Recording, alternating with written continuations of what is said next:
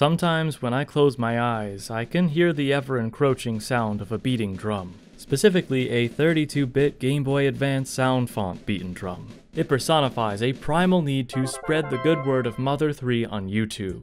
Following dark aspects of Mother, this video is an addendum, a bonus episode focusing on one of these two Vaporware 64 disk drive games headed by Shigesato Itoi. And I'll give you a hint, it isn't cabbage. Now you may be asking, wait, Mother 64? What about Mother 4, 5, and 6 through 63? Bad jokes aside, and as an aside, Itoi was actually responsible for naming this classic console, according to the 64 Dream November 1996 interview as translated by Chewy. Mother or Earthbound 64 in the West, aka Mother 3 before it was cancelled and released later on the Game Boy Advance, had a couple of subtitles it was known by before landing on the sublime Fall of the Pig King. They were Forest of the Chimera and Forest of Strange Creatures. Those last two subtitles, of course, place emphasis on the reconstructed creatures of the game. The final official subtitle, Fall of the Pig King, presumably refers to Master Porky Minch, the game's main antagonist, who was confirmed to return by art director Benimaru Ito, Satoru Iwata, and Itoi himself. So what more do we know about Mother 64 specifically? And why have I chosen to make a dark aspects about a game that never saw the light of day? Well, this Nintendo Dream Magazine interview, again translated by Chewy, that is required reading for any Mother 3 fan I've probably referenced too much in my videos, outright tells us from the man himself that the scenario in the N64 version was much, much darker. When Itoi initially wrote a script a decade prior to this interview, he apparently wasn't presented with as many confrontations when it came to dark aspects and sad aspects. Sad Aspects, new series for this channel, anyone? Anyway, he initially thought to dig in the direction that would upset people, making for a scenario that was dirtier than what it turned into for the Game Boy Advance version. Itoi then mentioned there were parts that he had only added in order to disappoint the players. After being asked why the GBA version ended up with a lightened scenario, Itoi guessed that it's because he became a good person. This original idea to betray the player was elaborated on in the February 1997 Dengeki Nintendo 64 interview, archived by the Cutting Room Floor and Mother Forever, where Itoi mentions the plot including a betrayal longtime fans might have been expecting for a long time. Someone other than Itoi, the lead programmer in charge of Mother 64's scenario, suggested in 1999 that Mother as a series is always about betraying fans of the previous game, and had this to say about Mother 64. If you're expecting the heartwarming world of Mother 2, you might suddenly be betrayed. Itoi was always fascinated with evoking a feeling of disgust within the player, metaphorically describing the theme of Mother 3 as being the literally disgusting sound of Master Belch's synthesized burp from the previous game, and other unpleasant ideas like it. In Itoi's words, the theme of the project was a lot like playing against Master Belch, with many twists and turns along the way. About two years later, Miura would describe the main theme of Mother 3 as a desire to make people cry. Very interestingly, in this June 27, 1997 weekly Famitsu interview, Itoi mentions the game's story being sad, the interviewer remarks that they cried during Mother 2, but Itoi comments that it's not really like that. This game's story is more like, this is terrible, why is this happening to me? Then, in December of that same year, Itoi said rather than simply crying at the end of the game, you'll be crying halfway through, which is accurate, though I was wanting to cry within the first hour of the final version. He then proclaims the end might make you freeze and go, what? Really, it's a cruel game. Of course, we can mostly only speculate on what exactly changed between these two versions of Mother 3. But luckily, due to the strenuous efforts of the community, including Mother Forever and their exceptional discoveries and documentation of all things Mother 64, we have plenty of supplemental materials like the Mother 3 Times. Featuring English translations, I'll be quoting from the Cutting Room Floor and Cody Nokolo. That will show us what could have been with many clearly darker elements planned that aren't present in the Mother 3 we know now, which will be the main focus of this video. Note that because it would happen quite a bit from here on out, instead of audibly saying quote unquote every time I directly reference a Mother 3 Times article, I'm going to show a scan of the original page and its translated text whenever I read from it. You can also always turn on subtitles to see the nuances of my script, which reveals when exactly I'm quoting the cutting room floor and or Cody slash the Mother Forever team's work. With that out of the way, let's first discuss the curious case of missing and or kidnapped villagers, which Mother 64 had a surprising amount of. The town lumberjack Lighter of GBA Mother 3 apparently used to be known as Captain Lighter, and he owned a fishing boat called the Hitemi Maru. His son's name is still Fuel, though in this version, they both went missing when out on a voyage, and were thankfully rescued 5 kilometers offshore near Great Scale Village, a location that likely became what we know as Cerulean Beach. While sailing southbound, the family was reportedly attacked by some mysterious large creature. The two of them suffered minor injuries, though seemed to otherwise be in good health, so they were taken to Asohe for recovery, where the Asohe Coast Guard plans to interview them once they've fully healed. The truly grim news in this, though, is that Lighter's wife, a Mother 64 exclusive character named Tobacco, was apparently also on board the boat and went missing along with them, but was never found and therefore presumed dead. The creature that attacked the fishing boat was very likely the two headed great scale kraken, who snatched up fuel from the back of its mouth in this 1997 screenshot, and in this Space World sizzle reel footage recovered by Zen64. Another missing seafarer is Nana's papa, who one day disappeared from his home on the west side of Tazmily. According to the Mother Three Times, since he was formerly a sailor, Papa would occasionally leave suddenly for voyages. However, this time seemed different, since he hadn't returned. All he left behind for his 12 year old daughter was a photo, which she holds close to her chest each day as she anxiously awaits his return. Both Papa and Nana are said to be close friends of Lucas's family, so this news must be especially tragic for them. That's a mystery unique to Mother 64 that's been left without closure for over two decades. But the case of a pair of missing siblings, Nicole and Richie, was resolved well before then. Mato of Legends of Localization does seem to think that these two were named after Nicole Richie, by the way. The brother and sister duo wandered into the Sunshine Forest one afternoon to play, but failed to return home by dinner time. They were rescued by a gentle, huge creature believed to be a Drago and brought back to Tazmily Village that same day. Another case of a missing child, though left without a resolution, is amusingly the character who has the face of Hiroki Mukudani. You see, Hiroki was the winner of the Mother 64 fan insert contest, with his likeness in-game being based upon photos that were sent to the game's art director. An important clue to the investigation of the missing boy reveals that he was spotted on the security cameras of the daily necessities retailer, the uh, creatively named General Store, in the suburbs of Tazmily. The mother three times goes on to describe that it is clear the person seen in the camera is 12 year old Mukodani-kun, who's been missing for some time. It is under the assumption of the Tazmily Village Police Department that the middle aged man seen on camera with the boy is involved in the incident. The boy was last heard from in October of last year, when he said, I want to eat some deep fried shrimp with chili. He's been missing ever since he left home that day. It's unclear who exactly that middle aged man was supposed to be, but one suspect could be this supposed creep found lurking in Tazmily, who calls himself a carefree guy, which is supposed to be a reference to the enemy of the same name from Mother 1 and 2. Us overseas fans know him as the New Age Retro Hippie, which is a far superior name. Funnily enough, the fourth wall breaking article questions whether or not he is indeed the same baddie that starred in the previous games, and suggests that until the rumor is proven false, the security of the villagers of Tazmily must be taken to heart and arranged. None of the villagers have been harmed yet, but apparently there is an overhanging feeling of anxiety among the people, including Mayor P.K. Perkle. It's such a widespread fear, in fact, that a general late night curfew has been put into place, as well as a mandate for all elementary school students to head for and leave school together.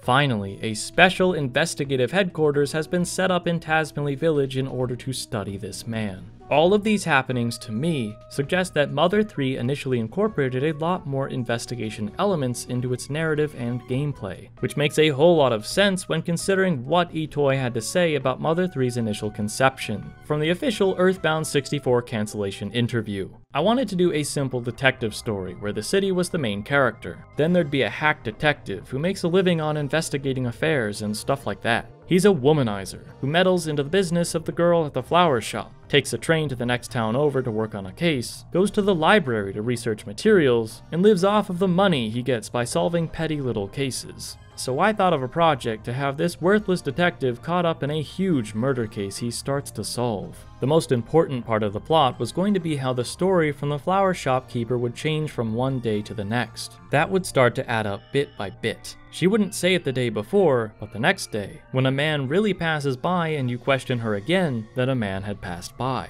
It'd be a game about a city that continues to grow. I started making Mother 3 with that concept at its core. Remnants of this early idea for what Itoi wanted Mother 3 to be is still apparent in this 2006 release, with Tazmily Village growing and changing over time, Flint searching for his missing family members, and Lucas later investigating Wes's lost son, Duster. However, it appears that many more characters were slated to disappear in the 64 days, which would have certainly felt more like Itoi's aforementioned desire to craft a detective story. This role of hard-boiled hack detective would have also fit Flint as a character, so I'd guess that's the reason. The polygonal widower was apparently going to have a larger role in the plot than his pixelated counterpart. We're not even done talking about mysteries yet, though, as there's tons of distinct, eerie enemies to discuss, including one that will now forever haunt my dreams. This shadowy entity simply named That. The mother three times reports on a photographer they sent ahead to Tazmily village, who succeeded in snapping a picture of the creature, but was not able to capture all of its body in frame due to the cameraman's shock. That apparently has a habit of fluttering towards children and flying into their faces, so the article understandably recommends being wary when visiting Tazmily Village. Speaking of unsettling flying things, the Mother Three Times also published a segment about a different mysterious creature a large number of villagers claim to bear witness to. According to these reports, the apparent rat with insect wings was about 40 centimeters in length, flying around the sky attacking humans and livestock. It supposedly emits a crying sound like Gee, Gee, which is worth noting because Mother 1 and 2 antagonist Giegue's name was inspired by how unpleasant and dreadful Itoi thought the syllable Gee specifically sounds to the ears. In 64-bit Tazmily, the villagers are extremely concerned that the unknown creature may be poisonous. So to help curb the mass panic, the Tazmily Health Center began developing a strategy to catch it, involving a special mousetrap. Another big difference I noticed between the Mother 3 back then and now is Isaac. And no, it's not the fact that his older design reflects that of a troglodyte in a loincloth. In the Mother 3 we got, Isaac is implied to have heard Hinawa's death throes while he was up in the mountains, taking a break by the river after picking mushrooms. In Mother 64, instead of hearing the sounds of screams, Isaac reportedly saw what were likely pig masks, called buhe, or pig warriors, in early promotional material, while picking mushrooms in the forest, followed by a crop circle spinning around and dissipating, leaving behind a searing mark in the ground. Apparently, these so-called crop circles have been reported all over the world, too. Isaac does look drastically different in the early days compared to his final design, but so do some other notable characters, including the Claymen. According to that English translation of the post-launch Nintendo Dream Magazine interview, Itoi said this in response to the interviewer asking about the Claymen having appeared since Mother 3's N64 years. The design of the Claymen has always been a theme I've been working on in my mind. I felt their design this time was okay, but to tell you the truth, I still feel like the very best Clayman design would have turned out differently. Clearly, the look of the Clayman was incredibly important to Itoi, we can see physical proof of that by comparing and contrasting how much their designs changed between versions. These hapless slaves of sadness and endless sorrow originally looked much more pliable, featuring a shocked looking face with a perpetual open mouth akin to Animal Crossing's gyroids, which is very fitting because gyroids in turn were inspired by terracotta clay figures called Haniwa. Hinawa? See, now we've come full circle. Sort of off topic, but this 5 second clip from the Space World 1999 trailer utterly perplexed me before I knew it was supposed to be a Clayman. With the perspective, I always thought it was a bizarre looking save frog or some kind of chimera climbing out of the water. Let's hope that this Clayman made it out to safety, and pour one out for the Yado Garin in the meantime. These crustaceans have apparently declined in number due to recent developments in the forests. Thanks, pig masks. This screenshot here, taken at the 64 exclusive Toilet Falls, showcases an interesting bit of dialogue, reading something like, Dad, help me! In the GBA release, Flint never actually hears either of his sons yelling out for help in this way. When he and Alec are closing in on Klaus at the Drago Plateau, for example, he finds both of his boys' shoes as proof Klaus was there, but not a voice or body to match them with. Some other video and screenshots worth mentioning is of course what looks like the aftermath of an earthquake, with the rubble containing an Onett billboard and burger sign, along with a crumbled Monotoli building from Fourside. Could this have been a flashback that would have played during Leder's speech towards the end of the game? Here's a fully charred model of Salsa with bloodshot eyes, after likely being electrocuted by Fassad, along with the caged up monkeys being carried off by pig masks. This screen of Kumatora and Lucas is interesting. There's also a ghost of Wes, but he probably wasn't meant to pass away as part of the story. This looks like a 3D interpretation of what happens in Mother 1 and 2 when the heroes fall in battle, suggesting that Wes at one point was planned to be a fully player controlled party member who could be revived after quote unquote dying. This is supported by an in battle screenshot from 2000, listing his name and stats. His level in the GBA version can even be adjusted in the debug room. While on the topic of death, we have a Mother series wall staple, zombies. The only zombies that appear in GBA Mother 3 are the Zombie Man and Zombie Lady, featuring physical attributes reminiscent of Klaus and Hinawa respectively, which is a sad thought, and the sheer body horror that is the zombie dog. None of them resemble a cyborg though, which certainly appears to be the direction Mother 64 was going for as this dude with an almost fully metal face looks up into the camera with a robotic glowing red eye. Nippolyte, the gravekeeper here, also used to look strikingly like the Legend of Zelda's Dampé of the same profession. Zombies rising from the graveyard was likely going to be a bigger plot point as well, as evidenced by this publication discussing Mayor Perkel's plans to renovate Sunset Cemetery to put to rest rumors of the Walking Dead.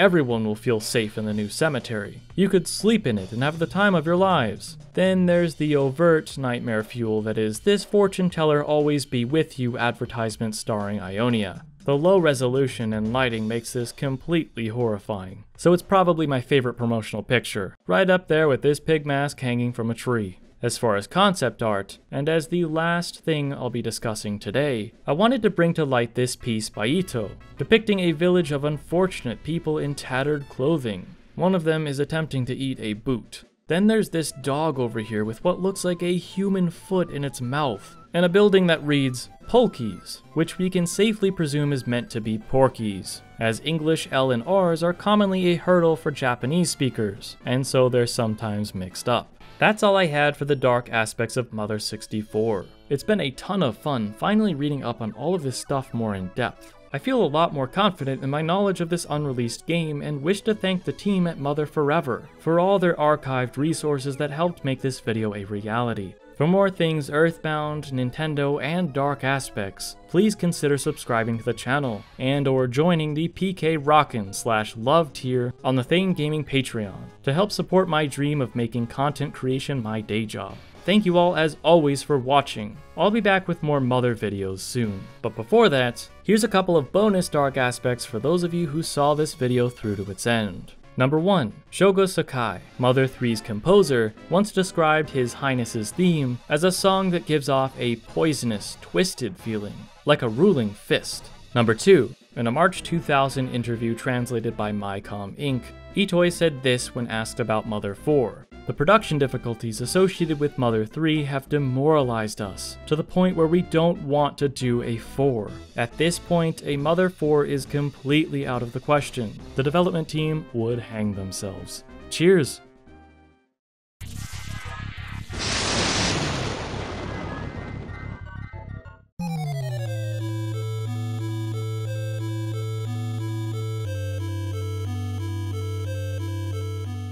If you've ever been curious about just how different the official Mother novel is from the game it's based on, you should know that in this interpretation, when our protagonist Ninten first encounters Giegue, his instinct is to call him a bastard and throw a grenade at him. Welcome to Dark Aspects of the Mother novels, a complete analysis of the darker moments present in author Saori Kumi's retelling of the first two games by Shigesato Itoi. This episode will be a comprehensive overview of the first book, which does include spoilers pretty much immediately, so I recommend reading it first if you have any interest in doing so. I want to turn this comment section into a book club. In my last related video about the decades long journey to getting these Japanese novels translated into English, I mentioned that the first story is all about Ninten, or as he's referred to in this fine piece of literature, Ken. However, he isn't exactly the main character. He's one of them as a chosen hero for sure, but in a move I think made for a more interesting read, the book actually takes place right before Anna joins Ninten slash Ken and Lloyd's party, because this story is told through the perspective of Anna,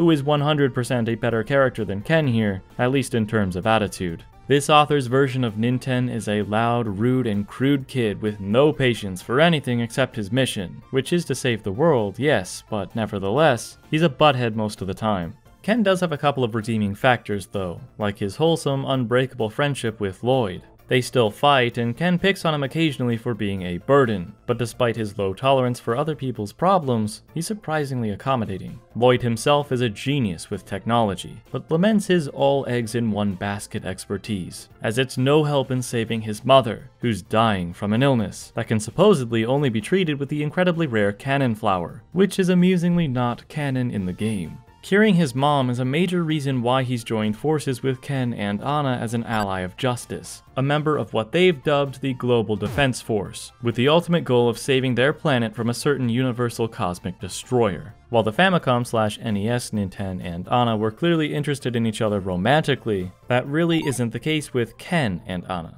Since we do get a lot of internal monologue from Anna in the book, we see that she despises him in a lot of ways, but does, while she'd never admit it out loud, have several moments where she's crushing on the kid.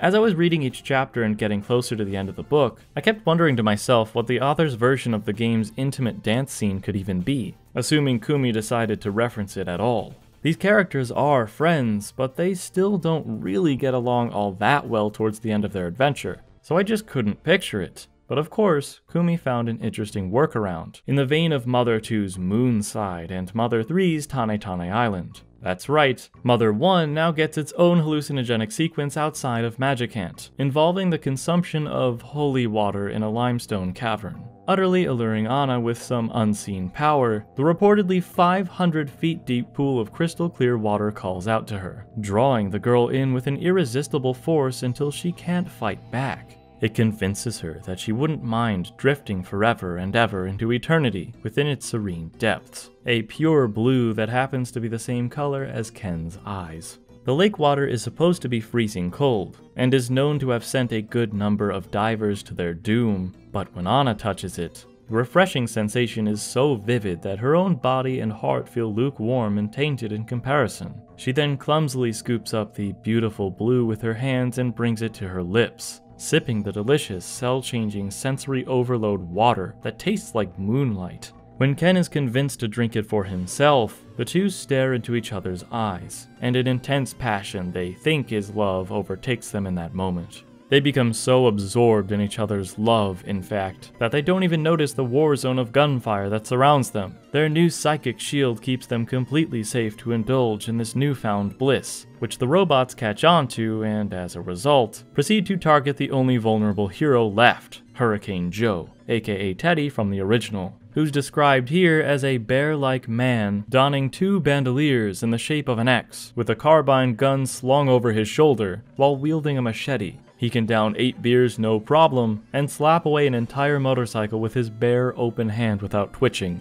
When Ken and Anna finally come to from their trance, they suddenly realize what had taken place around them with a whiff of the copious amount of blood, and Joe's severely injured body collapsed onto the floor, with no memory of their special moment together. I think this was a brilliant equivalent to the game's events, where Teddy is gravely wounded in an unwinnable encounter. Before that life threatening ordeal, Ninten and Anna legitimately confess their feelings for each other without drinking a mind altering substance then dance with one another, similar to Ken and Anna here enveloping themselves to be as close as possible inside of an invincible bubble. If that description of what happened to Joe was any indication, the battles in this book are much more descriptively violent than their in-game counterparts. This makes sense as while nothing overly gruesome is ever shown on screen in Mother, some of the implications of the turn-based fights, like Ninten using a baseball bat to beat possessed zoo animals, suggest some pretty intense battle scenarios, the novel trio's first fisticuffs is described as early as chapter 2,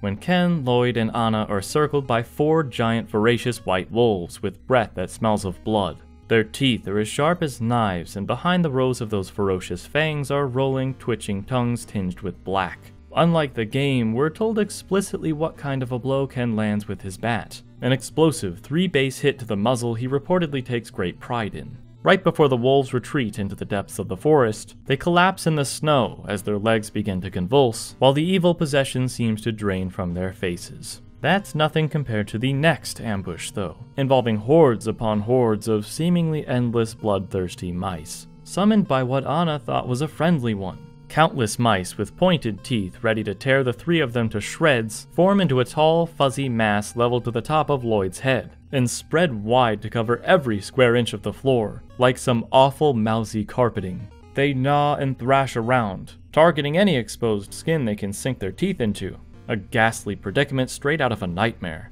Anna is blinded from a series of tail whips and starts to lose consciousness because of the sheer quantity of rodents overwhelming her. And when she falls to the ground, she hears the pitiful little chirps of mice who are now pinned underneath her.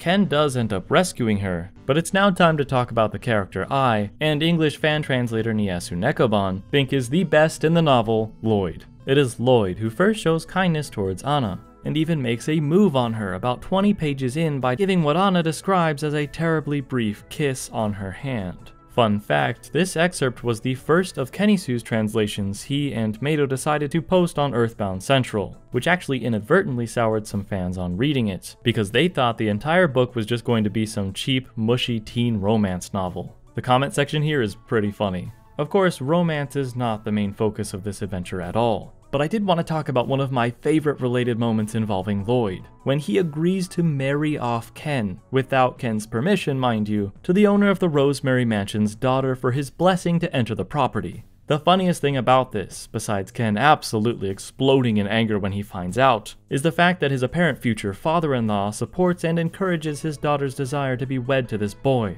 having only just met him, and despite his complete lack of decency. Wolfing down food at a fancy feast offered by Mr. Rosewater, Ken lets out an enormously offensive belch after their host opens his heart to talk about the purity and happiness he wishes for his daughter. Everyone in the room falls dead silent, but the man continues on by feigning ignorance. This genuinely got a laugh out of me. Progressing chronologically from here, the hero's search for eight magical melodies takes them to the Yucca Desert, rumored to have been the site of a battle fought long ago between countries. It's an area haunted by the spirits of those who died in this conflict, with an impressive negative 103 skull and crossbones tourist rating. Later, when a formation of UFOs is spotted overhead, the lot of them duck down into the shadows of the sand dunes. However, Lloyd is delirious and wants to see the flying saucers, so he crawls on all fours to get a better view, but is greeted by a scorpion instead. Anna uses her ability to telepathically communicate with creatures to calm it down, but unfortunately, as soon as Lloyd safely backs away, Ken sends the no longer threatening Scorpion's helpless, tiny red body flying into the distance. My own grandmother doesn't have psychic powers to lull scorpions out of stinging or anything like that, but she does live in Arizona, like me, and has had to land several smash attacks on hostile scorpions that have invaded her home. One of them even snuck its way inside the pages of a book she was reading. Seriously, I just wanted to tell that story as this is a legitimate trope about the desert, but so is the wonderful stargazing out here, so don't hesitate to visit. Because Ken smacked an innocent scorpion with his bat, he and Anna yell at each other about how an ally of justice should be acting, and then she starts praying for him, which is amazing. The old man of the desert considers himself a gravekeeper of sorts, since so many of the men who were once under his command are now at rest beneath the sand. That's why he's never been able to bring himself to leave. He also owns a creepy blood-sucking plant with petals in the shape of lips that ask to be fed, stored away in a greenhouse along with a singing cactus fans of the game might recognize. Or so he thinks, but it looks like the thing sprouted legs and ran away. But not to worry, there are more singing cacti in the ruins occupied by monkeys, hidden deep within the desert. These ruins seem far more dangerous to navigate than they were in-game, as Anna accidentally activates a death trap that makes the earth around her tremble and the architecture crumble, causing some of the monkeys to either fall off of or be crushed by falling pieces of the ruined walls. Huge fissures crack open beneath her and the boy's feet, revealing wide, deep chasms that would certainly bring them to their demise if they fell in. All of this madness eventually leads the heroes through a portal to Magicant, a world which curiously makes Anna feel a bit of blackness in her heart, as an innate rejection of the nauseating pink atmosphere, and the boys' over enthusiasm in being here. To be fair, it isn't their fault. They seem to be entranced as if they're love struck, stuck in a dreamy, thoughtless, too happy state that sickens Anna. My favorite description of them in Magicant is as follows. Those overly familiar girls were very insistent as they led Ken steadily onward, tugging at his hands. Lloyd called after them in a very nasal voice, saying something like, Aw, wait for me. And then, like a butterfly charmed by nectar, he fluttered off to join them. Her black tainted heart in this strange place also comes from a place of concern and anxiety. As they enter Queen Mary's castle, the distance between her and the boys never seemed to close in, despite her quickened pace, as she catches fleeting glimpses of them from behind, whenever they all turn a corner. She then has a twisted vision of them not remembering Anna's name, with their eyes turning a hazy, sugary shade of pink to match this blushing dreamland. The soldiers of the Queen's throne room are intimidating, as they wield spears adorned with cords colored wine red, giving them the dreadful appearance of having just finished stabbing someone to death. Anna speaking up against the Queen, whisking them away to her fantasy to indulge while the real world is suffering, even in fear of being executed, is a great character moment for her. Queen Mary is fortunately not malicious, but does admit to doting over her children a bit too much. She brought them here for that selfish reason, but also to give them gifts, blessed with attributes best suited for the intended recipient, similar to Father Christmas of Narnia and his presents, while also successfully conveying that feeling of earning endgame equipment in an RPG. Each armor piece is bestowed with a magical ability. Ken's new baseball hat brings him strength as a leader by encouraging those with righteous hearts to follow him without hesitation. Lloyd's snazzy pair of glasses help boost his mental acuity like a wisdom capsule, and a glittering heart-shaped necklace for Anna has comparatively vague powers of love, truth, and hope that channels her natural ability to awaken boys from their delusions and turn them into real men, or something like that. Now that the heroes are geared up, but before moving on from Queen Mary's domain, I want to highlight a notable quote, suggesting that her dreamy country never truly vanishes when her completed song is sung, unlike what happens in the game. This is a place that anyone may call home, as it remains in the depths of one's subconscious for all of eternity. Taking off their figurative rose tinted goggles, lands the Warriors of Justice in Youngtown, where all the adults have been puzzlingly abducted and taken to Mount Itoi, this was also the place Anna's own mother went missing, when she had to travel here on business for the church. With all these lost children yet no one to supervise them, an orphan named Amy seized the opportunity to take control. Apparently, there were a good number of kids who mistakenly thought that they could become the boss here, but they've all been sorted out by being knocked out with Amy's right hand punch. This society without grown-ups is where the gang also meets Noel, the psychokinetic powered baby with abilities that surpass even Anna, who senses and can teleport the party to the next melody, located in the notoriously dangerous LA,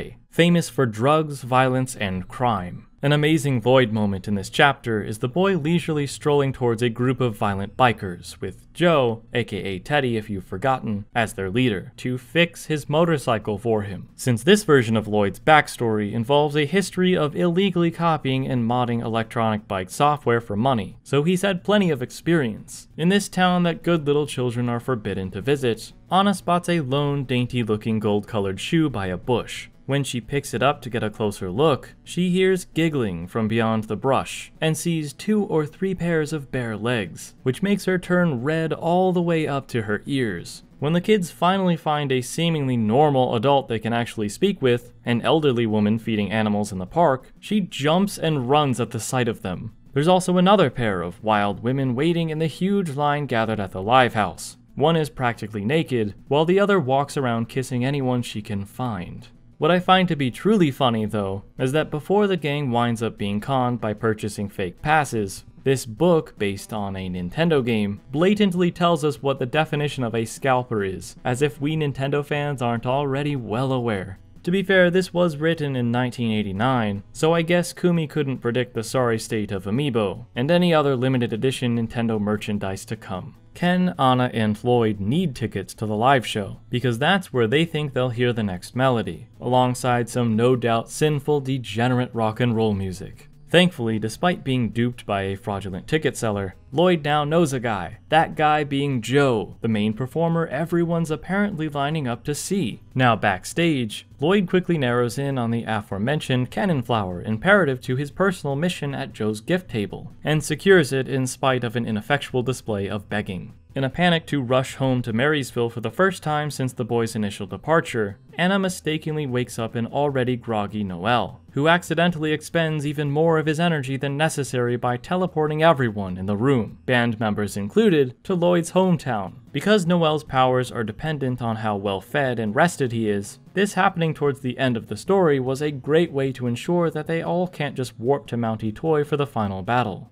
their fastest method of transportation is going to be dead asleep for a long while. So a group of them plan to make the arduous trip up the mountain themselves, aided by one of the Rockstar's SUVs. While in this ironically named town, both Ken and Lloyd learn that their mothers, along with every other mother, have been taken from their homes in Podunk and Marysville respectively by spaceships. Unlike Youngtown though, the rest of the adults were left behind, so they all banded together and agreed to wage war against the aliens, jointly pooling whatever they could use as weapons, then heading off to storm Mount Itoi. The only ones holding down the fort, so to speak, are self described useless old men like Lloyd's neighbor and Ken's younger twin sisters who've been living in fear this entire time. Bawling in desperation with the special cannon flower in hand, Lloyd finds his house completely vacant and freaks out by presuming his mother's already passed. But he is ultimately able to coax himself out of a panic attack and calm down by planting the flowers safely in their backyard garden with hope in his heart that she'll make it home okay. Anna was the only one in their group who saw this coming, and not through some premonition. She noticed that the huge fleet of saucers they all spotted back in the desert were flying in the direction of Marysville, but she didn't say anything to the boys in fear of deflating their will to soldier on.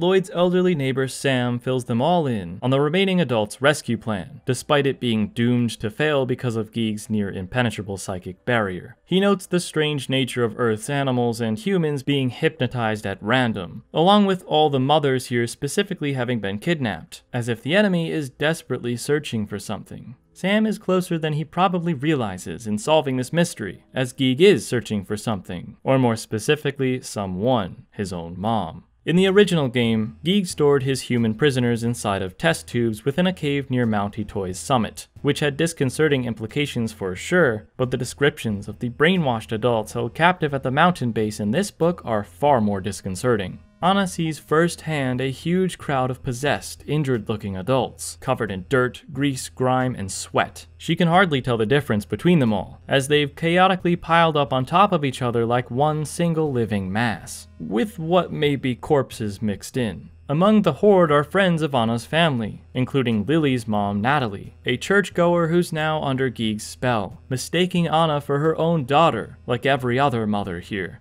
desperately clinging on to the hapless girl with their filthy hands. The zombie like adults seemingly begin fighting over her by pulling hair, scratching, biting, and landing bloody blows on one another. They've just about completely lost their minds. An overwhelmed Anna discharges a psi blast that sends anyone within a 20 foot radius around her flying, and is shocked to see that she inadvertently inflicted irreparable damage to fellow humans. We get a horrific account of what this feels like from Anna herself, as a second bout of that explosive energy is suppressed and redirected a course throughout her body. All of her blood seemed to boil, her bones seemed to grate against one another, and every one of her organs felt as though they've been turned into minced meat from some kind of terrible shock. And all of this pain echoed five or six times stronger. Her entire body became numb, as though it wasn't even her own anymore. Thinking she deserves to be punished for having sinfully used this great power, Anna welcomes the pain and endures the suffering until it stops, which turns her hair, she offered up to God earlier in prayer as a sacrifice, snow white. All this commotion is what causes Giegue to finally reveal himself. Housed in glass underneath his mothership are more adults, mindlessly calling out for their precious Giegue. It seems that without a mother to call his own, the alien threat has tried to fill the void by forcing all of Earth's mothers to love him instead. That was never going to replace the real thing, however, so with a time machine known as the ultimate reset button in his possession, Giegue's endgame is to send every single thing on Earth back to a state like being in a mother's womb all over again. The only thing our little heroes have on their side to match the might of his malevolence is the robot Eve, who was notably modeled after Lloyd's mom in the book because she was built by Dr. Distorto, a generic enemy type from the game made into a single character here, that character being Lloyd's dad. Distorto is a cruel nickname given to Lloyd's father by Giegue, whose army disfigured the man for feigning loyalty. Lloyd's papa explains that, like an insect, Giegue must retreat into a cocoon made out of his own body fluids at intervals during the course of his growth.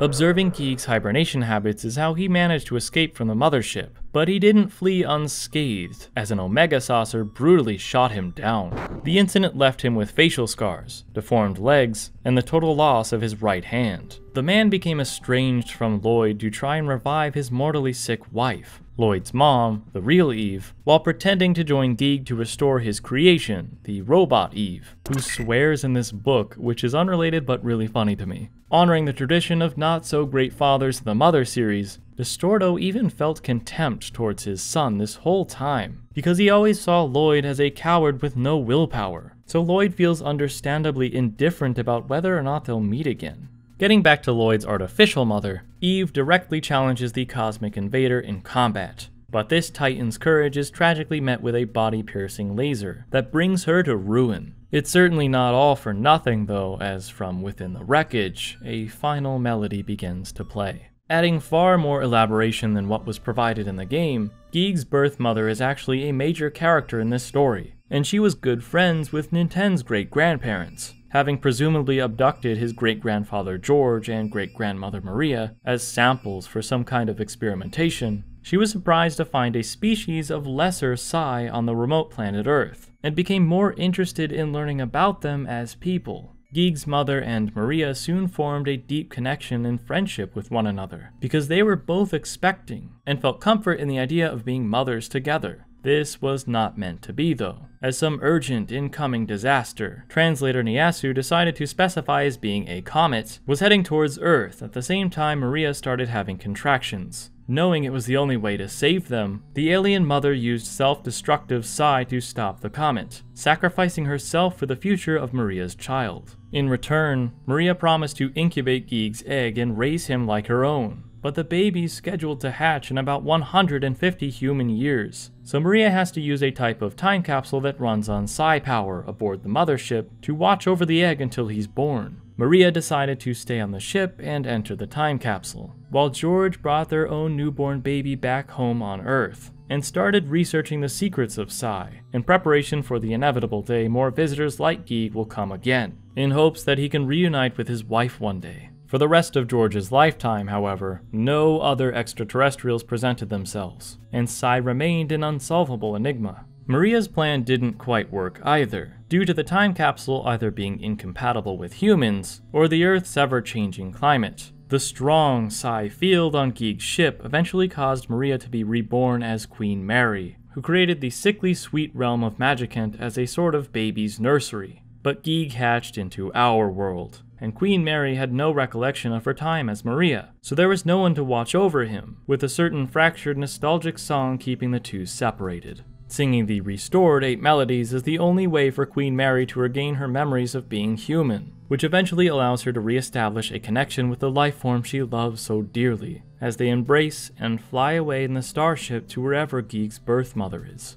Giegue and Maria's conclusion was satisfyingly heartrending, but this is Dark Aspects, so we must undo that pretty bow because sadly I'm not leaving things wrapped up so nicely. My final talking point for today, then, is perhaps the weirdest thing I've ever had to talk about on the channel, which the author also saved for last, so don't blame me. That is to say, the closing few sentences of the novel. I want you to read these along with me, and think about how it all sounds without context. Anna nodded with powerful enthusiasm, while subconsciously, she gently stroked her lower belly. And somehow, her smile was not unlike that of Queen Mary. At the foot of the mountain, even the cherry blossoms were already blooming. Alright, I have three explanations for this. Firstly, and this is how I interpreted the meaning, is that this is purely symbolic. Throughout the novel, there's an underlying theme of Anna realizing just how amazing mothers are, and that she'd likely make for a wonderful parent one day, It's mentioned several times that she possesses an innate motherly instinct, and is described as being exactly alike Queen Mary, said to be the essence of all mothers combined in some ways. I think it'd make some sense for Anna to be rubbing the area around her navel, that's how it's directly worded in Japanese, as an odd way of foreshadowing her future destiny as a mother, while she's subconsciously thinking of what just happened with Maria and Giegue finally being at peace. The second explanation is the obvious, albeit upsetting one, where the line is taken literally. While we're never outright told anything obscene like that happened in the story, there was that hallucinogenic sequence with the cavern water, and would, if something unmentionable happened we weren't told about, unfortunately imply that Ken is the father. It's worth noting that in a previous chapter, there was focus on Lloyd and Anna being mistaken for a couple while they were both picking up supplies at a supermarket while carrying Noel. A stranger tells them, Good for you, young'uns. Go on, go on, keep at it. Romeo and Juliet were in their early teens too, you know, and we can't lose to the Europeans. This reaction inspired Lloyd to start talking about certain passionate feelings of love, as well as the intense urges particular to puberty. Note that this was the censored line by Nyaasu. Lloyd says intense sexual urges specifically in the original Japanese version. Anna is flustered by their conversation and confides in Ken about it, who in turn gets embarrassed and turns red. This causes Anna to feel relieved, but also curiously lonely and disappointed. So she then responds with a deliberately wanton air, which is suspicious behavior for a 12 year old girl. She was corrupted by that rock and roll music, I tell ya. If this wasn't Kumi's intention, and I hope it wasn't, I'm just going to pretend that Queen Mary gifted Anna a child in the spirit of the Virgin Mary. Rest assured, if Nyaasu is ever given the opportunity to meet the author, she will ask, What did you mean by that, please? With all that said, I hope I didn't just discourage you from reading or enjoying the book, because my thoughts about it are overall very positive. I had an absolute blast reading Saori Kumi's Mother, and I do recommend her story as a complement to the original. So does Shigesato Itoi, as it's presented by him. I personally love the descriptions of Psi, like Anna first realizing her offensive powers by acting as a lightning rod to the vast, untamed, powerful flow of energy circling the universe, collecting it. I'm also a big fan of all the little moments Kumi wrote in that successfully feel very mother like, such as the characters breaking the fourth wall a bit by critiquing Ken as he's describing Magicant, asking why he suddenly changed genres from sci fi to fantasy. Then there's the subtle ways in which Kumi referenced the games, such as Giegue's inexplicable attack being a flash of something like red lightning, which somehow creates a pain in the kids' throats, while thinning the air around them as an attempt to stop their singing. Next time, I'm going to be diving into the arguably superior sequel novel, which is guaranteed to baffle any Earthbound fan.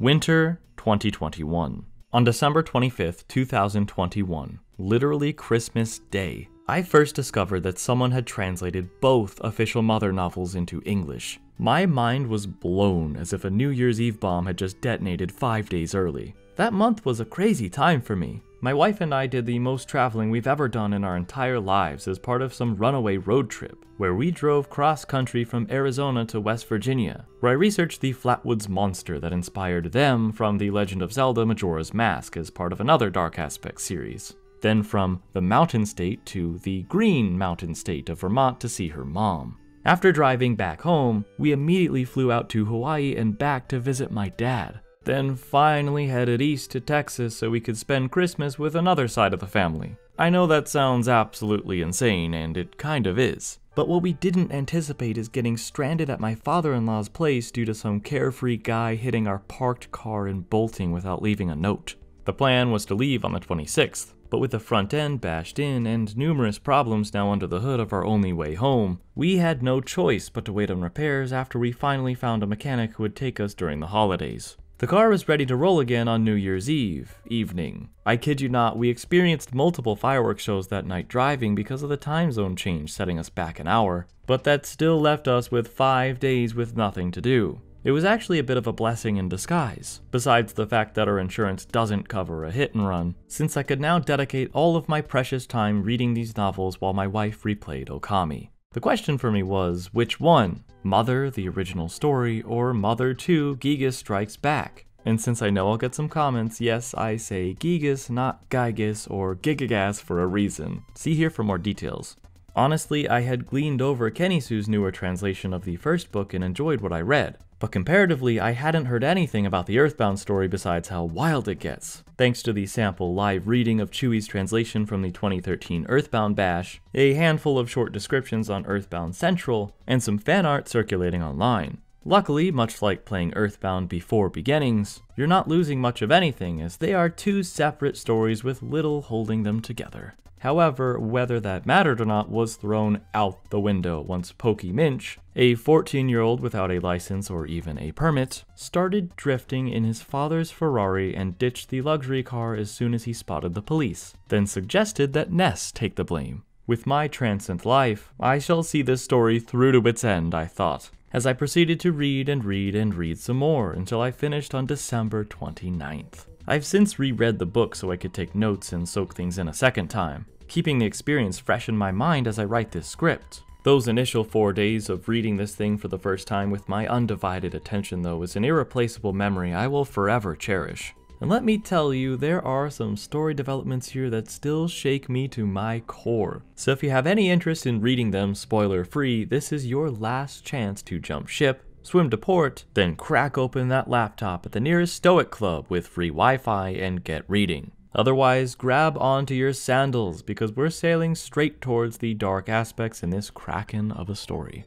Something that should be of interest to fans comes up almost immediately with the introduction of Ness's father. While these paragraphs of new information about him don't outright deny the possibility that he's literally a phone, it's unfortunately very likely the dude is of flesh and bone, which is quite the revelation. Ness's mom, with her reportedly ample bosom, was a supermodel in her younger days, and his dad an important businessman working for Aloysius Minch, who owns the Minch supermarket chain. While working for the man, Ness's father had a little side project perfecting the ultimate hamburger for his son with an incredibly picky palate. That's right, Ness's favorite food in this interpretation is hamburgers, not Salisbury steak, and he has standards, which means trash burgers may be out of the question.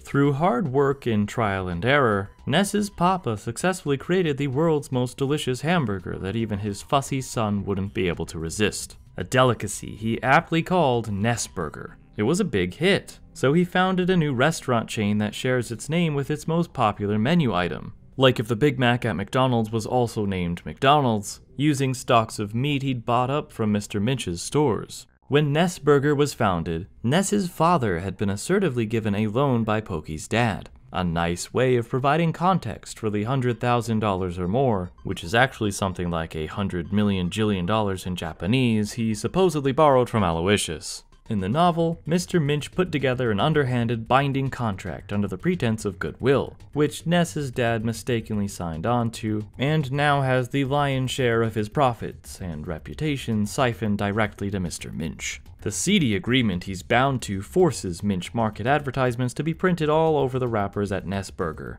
because Aloysius now has complete control over management and advertising decisions too. In an interesting twist, Mr. Minch is actually the reason Ness's father is absent from his son's life. In his anger, after failing to steal the Krabby Patty's secret formula, the world's worst boss sent his wage slave to work overseas to keep him away from home, and eventually break the man in hopes that he'll spill the beans about his secret recipe. Basically, Ness's father skimmed the terms and conditions of the contract and inadvertently agreed to sign his life away to an old friend who turned out to be a sordid old pig. Mr. Minch even creepily has the hots for Ness's mom, offering to take her out to dinner at a high class restaurant his father couldn't afford. His master plan involves using lower quality meat to tarnish the Nessburger name, in order to dispirit Ness's old man so much that he quits. Then, he'll take over the restaurants, charmingly renamed Pokeburger, and restore sales to the highs they once reached. Aloysius is a conceited, manipulative shell of a man, but little does he know that his eldest son is about to unintentionally surpass his wickedness. You see, Pokey actually witnessed firsthand the infamous meteorite crashing on Mount Onett, recklessly driving that aforementioned Ferrari with Picky in tow. The meteorite fragmented when it touched down on Earth and sent shards slamming into the windshield. The ground beneath them started violently shaking, so Pokey abruptly turned the wheel and Picky was thrown out of the vehicle. A large piece of the comet then tore into the roof, and Pokey let out a terrible scream as it burst into light, so Picky thought the car had exploded in flames. When Ness first encountered Picky, he worriedly questioned if his older brother was still alive because he had already presumed the worst. A cold chill was sent down Ness's spine as Picky asked if he seemed like the same brother he'd always known, the real Pokey. This is the first major red flag that something is seriously very wrong. But Ness and Picky brush off his story and skepticism as a hallucination dreamt up when he passed out earlier. As Ness escorts the youngest Minch brother home, the side tutorial boss Starman Jr. makes his grand entrance disguised as Pokey. The alien menace puts his hands on his hips and laughs, which reminded me of the Mecha Porky sprites from Mother 3. The psychedelic battle background of the game is then amazingly contextualized in this story as the world wraps around our combatants and the atmosphere becomes heavy, with intense, sinister waves beginning to swell from the spaceman. I think even more so than the previous novel, this story does a fantastic job of recreating the feeling of turn-based RPG battles. After the Starman Jr. is evaporated thanks to everyone's favorite rhinoceros beetle, Buzz Buzz, who's a scientist of the future in this novel, serving the same purpose as his game counterpart, the meteorite is revealed to be an egg for a certain cosmic monster, Gigas. The intergalactic fiend used it to cross through space and time, hatching as soon as he arrived on Mount Onett. Nobody, not even Buzz Buzz, knows what Gigas' larval state looks like. But the intellectual insect is aware that the newly hatched Gigas will have assumed the form of your typical, average, everyday human being, likely having taken anyone who happened to be nearby as a host, which very unluckily turns out to be Ness's next door neighbor, Pokey. Buzz Buzz goes on to explain that Gigas will grow inside the belly of the person he chose to carry him, controlling them from within via waves of evil influence that will also spread out into the surrounding environment. It's said that because Pokey already possessed a destructive personality before his little miracle, he will more easily mold into Gigas' puppet.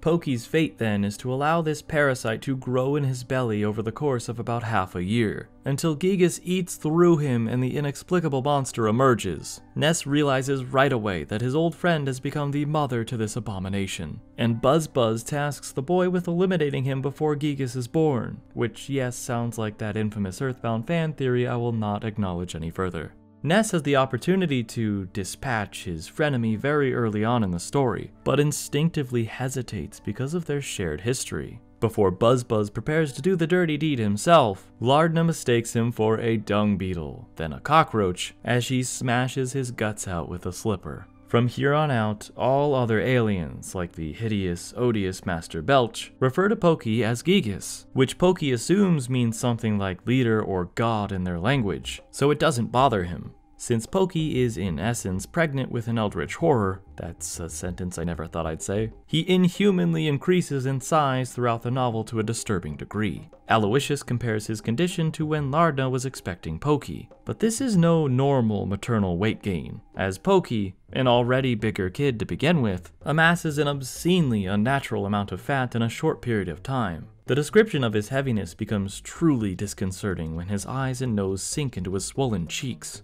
and every step brings him pain as his inflamed body chafes and works to shorten his breath. His face sags with countless folds of extra skin burying his neck. His fingers are described as fat, round little caterpillars that are later mistaken for sausages by some hungry river fish, and his fingers are capable of bending the metal support in the armrest of his chair like putty. It's so bad that eventually the narrator has to simply start referring to Pokey as the fleshy mass. Towards the end of the book, there aren't any clothes that will fit him anymore, so he opts to wear two bath towels, amusingly adorned with Miffy Bunny, as an unsuccessful attempt to cover his massive body. During his transformation from portly to abnormally obese, his bloodshot red eyes begin bulging and his eyelids fitfully twitching as he stares off without focus. Midway through the story, Pokey inhales a can of cola until he chokes, which sends him into a coughing fit as his whole body falls into rhythmic shock. The veins in his neck swell and retract. His drooling mouth hangs open in anguish, while tears and sweat stream down his face. This book had me feeling bad for the most twisted, troublemaking boy ever, which is quite the accomplishment. Pity for the same tainted soul that would go on to commit unredeemable acts of malice in the sequel game.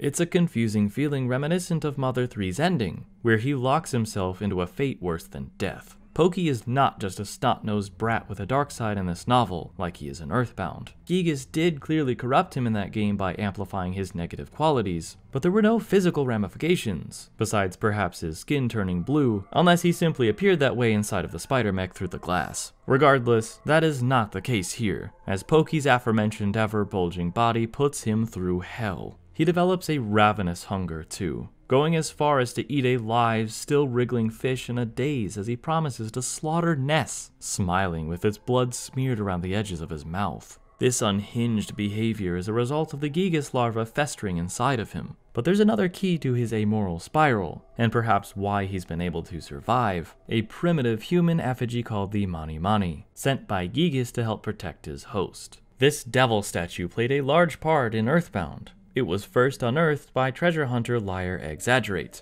but only really became a problem when it was sold to a gentleman known as Mr. Carpainter. Welcome to Happy Happy Village, home to insane cultists unhappy with the vibrance and varied hues of the world, following the crazed Mr. Carpainter and his decree that everything in the world shall be blue. It's both hilarious and uncanny, which is honestly a decent descriptor for most of the Earthbound experience in general. The game never really gave us a reason why this zealot took the lyrics of that Eiffel 65 song as scripture, other than him stating that the Mani Mani statue made him do peculiar things. It was instead Monotoli who gave us the most detailed information about how the statue works, explaining that it traps anyone under its influence inside an illusion it creates. The statue attracts wicked spirits that weaken the heart of its user, but also grants them an evil power. We learn through gameplay that the thing is sentient too, as it attacks with psi and can even neutralize its effects on the battlefield. The novel thankfully gives us even more to chew on, naming the notorious glorious light it emits the super aura.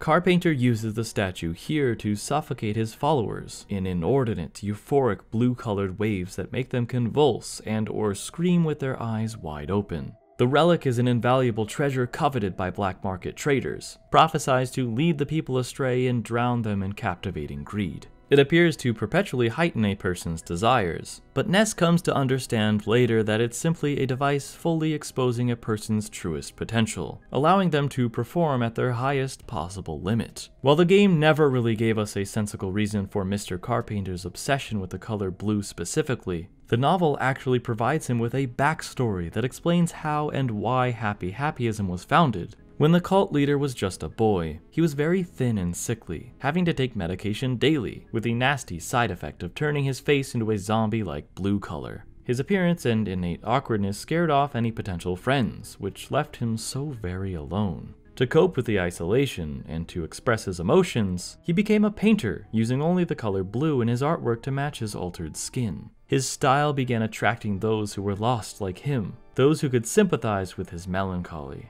Happy Happy Village, then, was conceived as a place where all who were troubled could live together in peace, but the Mani Mani distorted the innocent wish into a delusionary desire to conquer all and kidnap a certain special girl with psychokinetic powers to recruit as his own personal channeler, or high priestess in Earthbound. After not letting that happen by disbanding the Unholy Communion, Ness and Paula find themselves in another dire predicament when they take the trip to Threed. Paula nearly faints at the sight of some vile, unknown evil peering at them through the graveyard as they try to find a place they can spend the night in bright neon letters, Hotel Threed, briefly flickering to read Hell, brings Ness both relief and worry. But Paula's alarming condition overrides his superstitious fear. He ultimately checks into the totally not haunted hotel, assisted by a woman reminding him of Morticia Addams, and who seems to glide across the floor. This reads exactly like the opening of Luigi's Mansion 3 to me, with Helen gravely welcoming the unlucky hero and his friends to the last resort.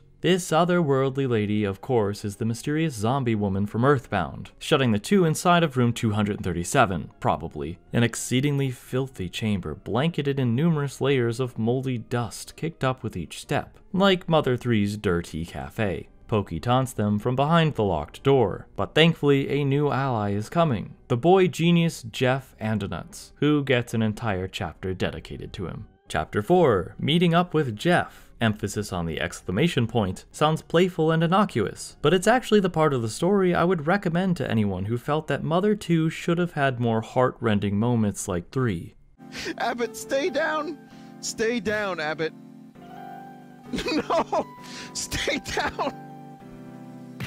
That might be confusing to hear because we aren't told about anything overtly tragic happening to him in the game, besides, you know, Jeff's father sending the boy off to boarding school and not visiting him for 10 years or so. But the novel shakes things up by debuting a new character, Jack Andonuts, as Jeff's older sibling. He's introduced as Jeff's beloved older brother, so what could possibly go wrong? This version of Jeff has two handicapped legs fitted with heavy metal support bracers. He self-deprecatingly compares himself to Frankenstein, even though he means Frankenstein's monster, as he drags his leaden legs across the floor, but is determined to save a pair of friends he's never met, answering Paula's telepathic distress call even if it means crossing the ocean to do so. Since he'd have great trouble treading through the dense snow of winters, his schoolmates prepare a trusty hyper wheelchair that once belonged to the dormitory leader, the Great Hawking. Yep, this beauty is a spiked six-wheeled snowmobile slash off-road bike hybrid powered by a solar battery. When he eventually, and just barely, makes the arduous trip to his father's laboratory, the boy is given prosthetic legs via surgery performed by a literal troglodyte. Jeff is injected with a sedative and falls into a deep sleep, notably apologizing to his father repeatedly. As you could probably guess, it is now time for the big sad, told through a flashback while Jeff is out cold. When he was a very young boy, he traveled with his father, his mother, and his dear brother to a resort for a vacation. That night, the boys stuffed themselves at a seafood restaurant on the harbor, finishing well before their parents, who weren't even done with their drinks. Romance was in the air, so Jack had the foresight to take Jeff and leave their parents to enjoy each other's company, suggesting that the two brothers check out the cruiser boat parked by the pier. The friendly ship captain invited the two on board for a tour, and Jack was especially ecstatic as boats were his hobby. He started a deep conversation with the crew, while Jeff was groaning in boredom and thought to slip away while no one was taking notice. He darted outside onto the deck and realized that while the back of the ship was filled with partygoers, the front was empty, so he decided to explore it. At the very tip of the ship's bow, there was a metal fitting in the shape of a ring fastened to it, used to moor the boat. Wanting to try tying a sailor's knot to this ring, Jeff pulled out the cord from the waistline of his parka and threaded it through. When his knot came out poorly, Jeff tried again using the strings from his hood, which of course resulted in him getting helplessly caught as he pulled the knotted cord cords together too tightly. As the ship prepared to dock, the crew began unraveling the mooring rope and lifting the anchor. Jack stepped outside to see his younger brother tangled in a mess of too tight twine even he couldn't undo, as he hurriedly ran to get help.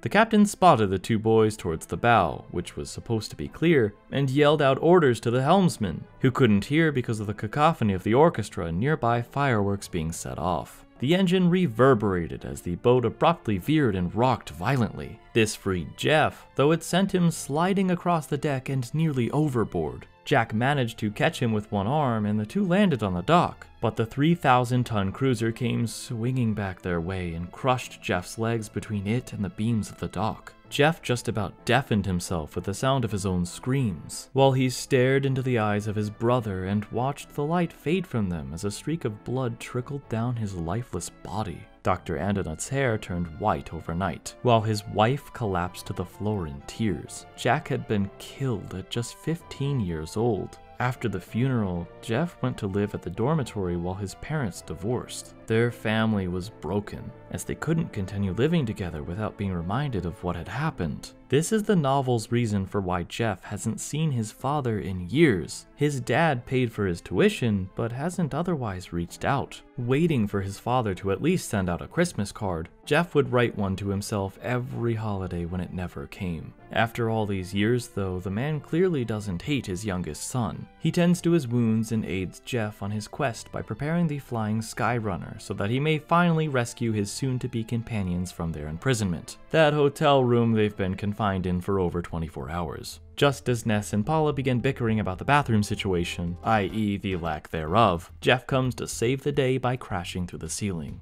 When we last saw Pokey, he wished for Ness to go ahead and starve, panic, and piss himself to death before leaving. But he also mentioned a revolting creature from outer space named Belch, leader of the undead threat in Threed. In Pokey's own words, because Belch can use the Force or whatever, these ghouls are rising from their graves and wreaking havoc. Belch, the big old pile of barf, is pretty gnarly and earthbound, but the adjectives of the novel do wonders in painting an even more nauseating picture. This Belch possesses hidden tentacles on his body. He can tear off pieces of himself to throw around, and is even able to spew acidic liquid that can melt people into a puddle of syrupy goop.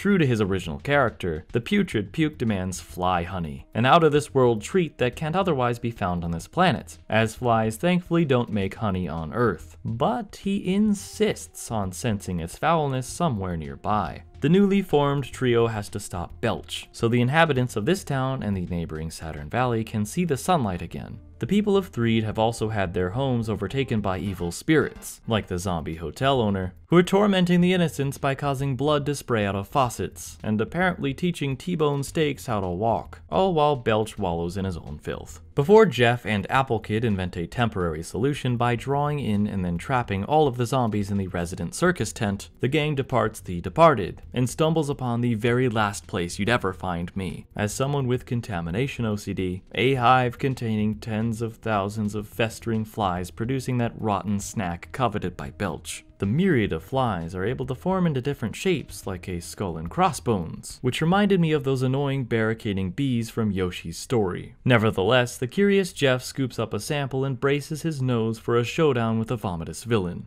Much like his role in the game, Master Belch enslaves the innocent alien race of Mr. Saturns to work in his factory. In the book, his base was converted into a sweatshop slash karaoke bar from a hydroelectric dam. And we're actually shown firsthand how cruelly he treats the Mr. Saturns when he mercilessly whips them by extending his pliable self. Thankfully, our heroes put a stop to this abuse by smacking that jar of fly honey straight into his face as an appetizer, then feeding him a main course of dry ice, PK freeze, and Jeff's supercooling gun to put him on ice. Besides those I've already mentioned, there are plenty more beefed up baddies and bosses throughout the journey. This includes Frank and his street gang, the Sharks, who nearly beat Ness to death. Seriously, their violence has been cranked up to 11. And the Kraken, a sea serpent Pokey picked out from a catalog as recommended by a Starman Super. It's just like the NME sales guy pitching lowly monsters to DDD from Kirby right back at ya, so he can clobber that dare Kirby. Apparently, the Kraken in this interpretation is a studious creature who's been closely following human politics and has his own stance on the subject of gun control. Now, that line reads just like dialogue from the game. As an aside, the book is filled with so many fittingly ridiculous moments like that, so if you ask me, I think that for the most part, the author really nailed Shigesato Itoi's tone.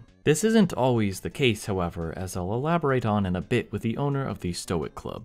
The real malevolence of this story, the Mani Mani, makes its grand return in Fourside as the Bio Ness Burger is rolled out by the Big Mean Minch. It's an exclusive menu item in the big city that's so powerfully addictive it causes consumers to become uncontrollably chaotic and aggressive, an impulse that only temporarily subsides as they wolf down more. The voracious demand for these burgers is responsible for traffic accidents, physical assault, and theft as hordes of hands push and shove their way to these bioengineered burgers that can be swallowed down in huge quantities without satiating anyone. The crowd eventually becomes an undulating mass of zombie-like junkies described as looking like a huge battleship on the water. They eat these lab-made burgers with a glazed look in their eye, devouring mountainous piles of food until they collapse in exhaustion and beg for an ambulance. Some of these victims to the Bioness burger are none other than the entirety of the Runaway 5 band, Jeff deduces that everyone's insatiable appetite is a result of the bioburger altering their minds, so he's able to reverse the runaways' rapacious cravings with the power of placebo. As it turns out, the burgers were laced with water exposed to recreations of the evil Mani Mani idol, nicknamed Mini Mini Mani Manis, so when Ness and company are ambushed by Pokey with his army of brainwashed wrestlers and karate masters, remember that part from the game? He uses Psi to melt and mangle one of the statuettes in his hands, which is revealed to have been made from the meteor meteorite that crash landed on Onett.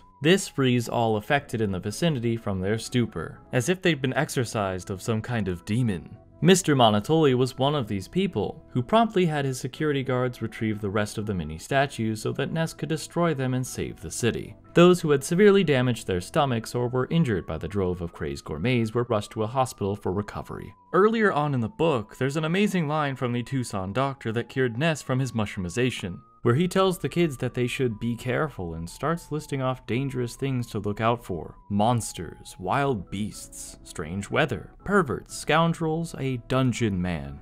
I laughed pretty hard at this, but he was serious, as that problematic club owner I mentioned before is a pervert who introduces himself to Ness, a 12 year old, in an uncomfortable, inappropriate manner when the trio arrive at Summers. Thankfully, nothing more comes of this, but yeesh is what I have to say on the matter. While Paula accidentally gets drunk on champagne in their luxurious hotel suite and passes out while cocooned in the bedspread, yes, that actually happens, Ness and Jeff are left to brave the creep secret society to try and win back a ship captain's boat, which was lost in a bet.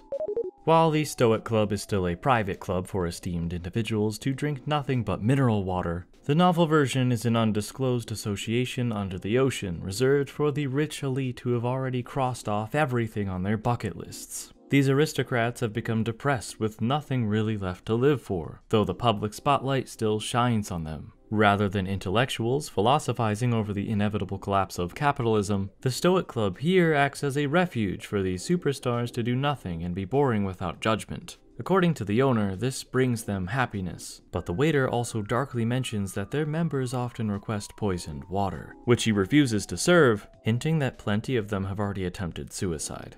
Jeff is tricked into downing one of the supposedly drugged drinks in a game of Russian roulette and faints, entering what I initially interpreted to be something like his own magicant. Ness and eventually a sober Paula, along with Pooh, the last of the chosen four they haven't met yet, use some kind of psi astral projection to follow and enter what I thought to be Jeff's headspace. I'll reveal what it actually is later. Here, they witness the troubled boy finally making peace with his deceased brother, when Jack removes a likely metaphorical rope, literally materialized in this ethereal realm, hanging around Jeff's neck. This mystifying near death experience conveniently allows Jeff to overcome his fear of large boats, and saves face in regard to the Stoic Club owner's carelessness via almost murdering a child. The server didn't actually lace the waters with anything but lemon, but the owner didn't know that at the time. Having snapped the culpable man out of his funk, the children, which will soon include Pooh, PK teleporting himself to the scene in real time, score that ship so they can sail to Scaraba. Following a sad, familiar story about natives losing their land and homes to foreign settlers, then being forced to acclimate to a new way of life, we learn that Pokey and his father crash landed their helicopter in the jungle due to Pokey suddenly growing in size again like Kirby eating that 200th strawberry in Dream Buffet. The dastardly duo had to dump all of the cash they made from their exploits in Twoson and Fourside to try and match the weight limit again. But it was fruitless as they're now stranded in the aforementioned village that's since been abandoned due to its people relocating. The Mani Mani statue had already been surfacing Aloysius' obsession with money, to the point where he cared more about future earnings than his son suddenly collapsing onto the floor in a previous chapter. But now that he's completely without his fortune, the man has gone certifiably insane. He skips meals to fanatically cut palm fronds down to the size and shape of dollar bills, then carefully counts them as if they were real currency. Pokey's even worried enough to tell him to eat, but his father is so entranced by his delusions that he continues on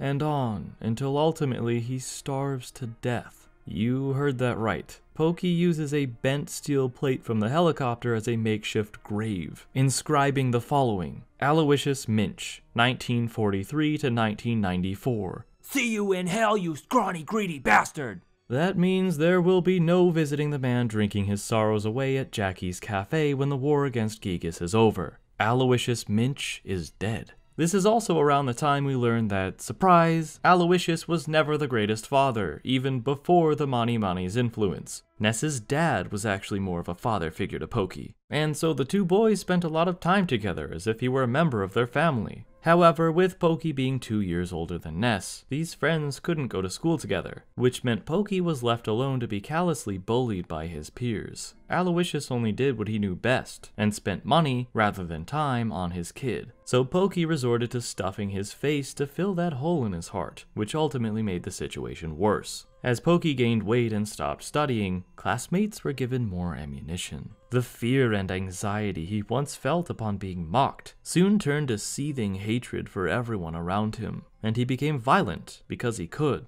as Aloysius would again just throw money at the problem and cover his misbehaving son whenever he injured somebody. Pokey quickly became the most despised kid on the block by his contemporaries, so Ness eventually stopped playing with him too, ignoring his old friend as if he didn't exist. Pokey's just a dumb pig after all. Yeah, a pig. Piggy Pokey. Pokey Pork. I bet they sell that in family sized packs at your father's supermarket. These specific cruel words from his bullies really work to set up Pokey's fixation on pigs in Mother 3, when he learns to embrace the hatred so that he can redirect it to make everyone else suffer under the oppressive rule of his pig themed empire. I do really wish there was a third novel now, but as you'll see, the ending of this book, along with other factors Saori Kumi herself outlines here, would have made adapting the third game tricky anyway. During an incident where Pokey failed to flip over a vault bar in front of his tormentors, and Ness, who he considered to be a little brother, they all ran over to kick the poor kid while he was down. Ness didn't know what to do. Should he act with courage and face this gang of bullies, who were all older than he was? Pokey glared at Ness with a look of complete disdain, and in a panic, the young Ness chose flight. He shut his eyes and ran away, proof that their friendship had truly torn apart. At that moment, Pokey had vowed to never ever forgive Ness. Suppressing that memory for now, the Chosen Four learn that they must transplant their brain programs, aka spirits, into robots to fight Giygas, who's preparing for his birth in the rift between the dimensions. In the game, Dr. Andonuts offers the modest explanation that the phase distorter machine they must use to confront him cannot warp life forms because life is demolished in the time travel process. In the book, both the Great Talking Rock of the Lost Underworld and a Starman Super are given the role instead, elaborating further by explaining that living things cannot pass through the rift in time, because beyond the rift, all time exists in chaos, from the first breath of life in the universe to its inevitable death and eternal darkness. The vortexes in time would instantly squeeze out all of the cells in one's body, annihilating them completely. The book also gives us insight as to why the Mr. Saturns are on Earth. A strange whirlwind overtook their interstellar craft, along with reasoning for why our ancient ancestors and cryptids like Tessie are currently coexisting with modern humankind. The answer to the latter lies beyond space and time, which is where the four can now go in that newly invented phase distorter. Pokey and Giygas are not on this planet anymore. They're not in this galaxy, nor are they even in this timeline. Once Giygas is born, he can assume his complete form and conquer over the entire universe, which includes all of time and space. Tragically, albeit hilariously, the Starman Super knows he's just a pawn to Giygas, but has an elderly mother, a sickly wife, and three starving children back home, all waiting for him to send them his paycheck. When Ness and his friends hear the news that their living bodies must be thrown away so that their souls can be transferred into robots to survive the journey, we're given a painfully despondent exchange between Ness and Paula about the future they'll have to give up for the sake of the world. Ness, having decided to endure the mission alone, tries to take in the beauty of his surroundings one final time. But Paula and the others will not let him go solo, of course. Like a four leaf clover, their destinies are inseparable as equal parts to a whole. Disturbingly, only a couple of pages later, we're filled in on the actual details of their surgery, rather than them lying down in a dark room while the screen flashes to the sound of a drill machine. The good doctor has a plan to cryopreserve their bodies once the souls have been successfully removed. Luckily, the Mr. Saturns have a thorough understanding of what a soul actually is and how it works, but they all have trouble explaining it in terms a human would understand. Pooh and his inborn spirituality are also instrumental to the transferring process, because having a god residing in him, oh, did I not mention that yet? He's able to pass into the realm of the dead, which they've been to before, as the place I mistook for Jeff's Magicant. So yes, Jeff was genuinely visited by his brother from heaven then, some Mr. Saturns put on surgical masks. Imagine this being the last thing you see before being put under the knife. And raise their gloved hands. Yep, they've got hands in this novel too. Then give the kids an injection, while the air fills with nitrous oxide. The Mr. Saturn shaped space time transporter seems to work sort of like the time machine from H.G. Wells' fiction, in that it floats in place as a center point while the universe flows past it, until the newly roboticized heroes pass through three dimensional space and land inside the center of the Earth, which is where Ness's final Your Sanctuary is located. The rift in time they enter is apparently where all timelines in multiple dimensions converge to perish and be reborn, where all meaning in the universe can be found.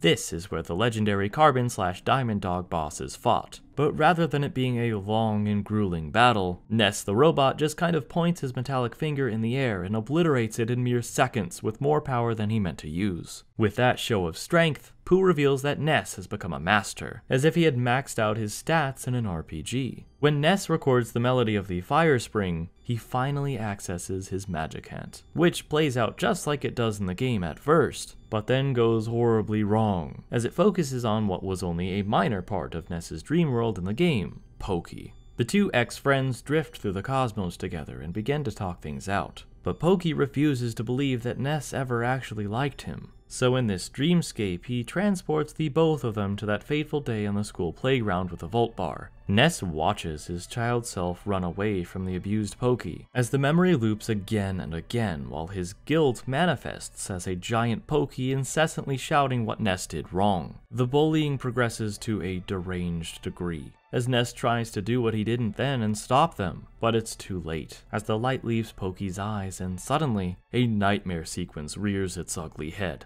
The sun bursts, the earth trembles, and the sky shatters as a shower of blood gushes out of the older kids. A vortex of swirling black clouds appear and lightning strikes the schoolhouse, as windows smash and the building crumbles while children fall to the ground or are swept up in a whirlwind. One child's limbs are ripped off and blown apart, while another's face is savagely torn away. It hurts! A little boy cries as his entrails hang out from his stomach.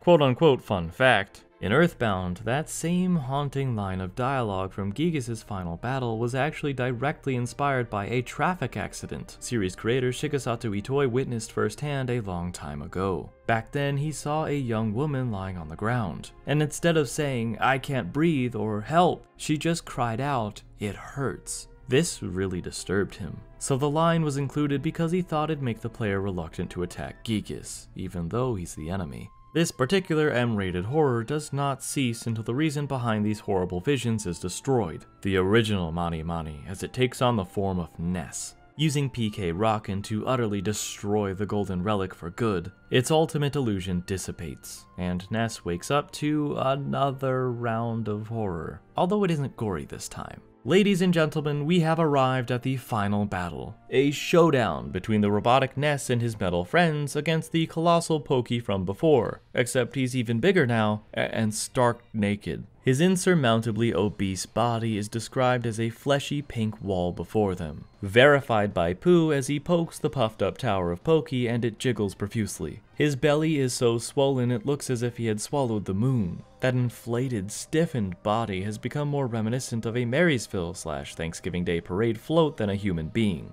Enraged over the destruction of his beloved Mani Mani, Pokey begins thrashing about with his unbendable arms and legs as the reality around them begins to wobble and distort. Suddenly, the pink wall that makes up Pokey stretches to close the heroes in from all sides, like a padded cell meant to contain otherwise unrestrainable prisoners. The floor, ceiling, and walls, all part of this boundless Pokey, bounce our heroes around like tin toy robots on a trampoline. All of their moves, from Psi to bottle rockets, bounce off the bloated blubber to no effect, while Pokey cackles and his flesh undulates. Pokey then begins to contort himself, sending his enemies crashing together as he squeezes his skin to crush them. The Chosen Four's metal bodies are flattened against one another until they're irreparably bent out of shape and pressed into one. Seeing the light at the end of the tubby tunnel, their mashed, conjoined bodies do bring their souls closer to each other. So as a last hope, they begin praying to God, then for the support of all who have helped them in their journey from Onett to the deep darkness. Their combined trans-dimensional prayers resound all throughout the world and inspire anyone listening to pray for the safety of Ness and his friends. That includes you, the reader, just like it did when you started praying for them while holding that Super Nintendo gamepad, or whatever controller was plugged in when you emulated the game.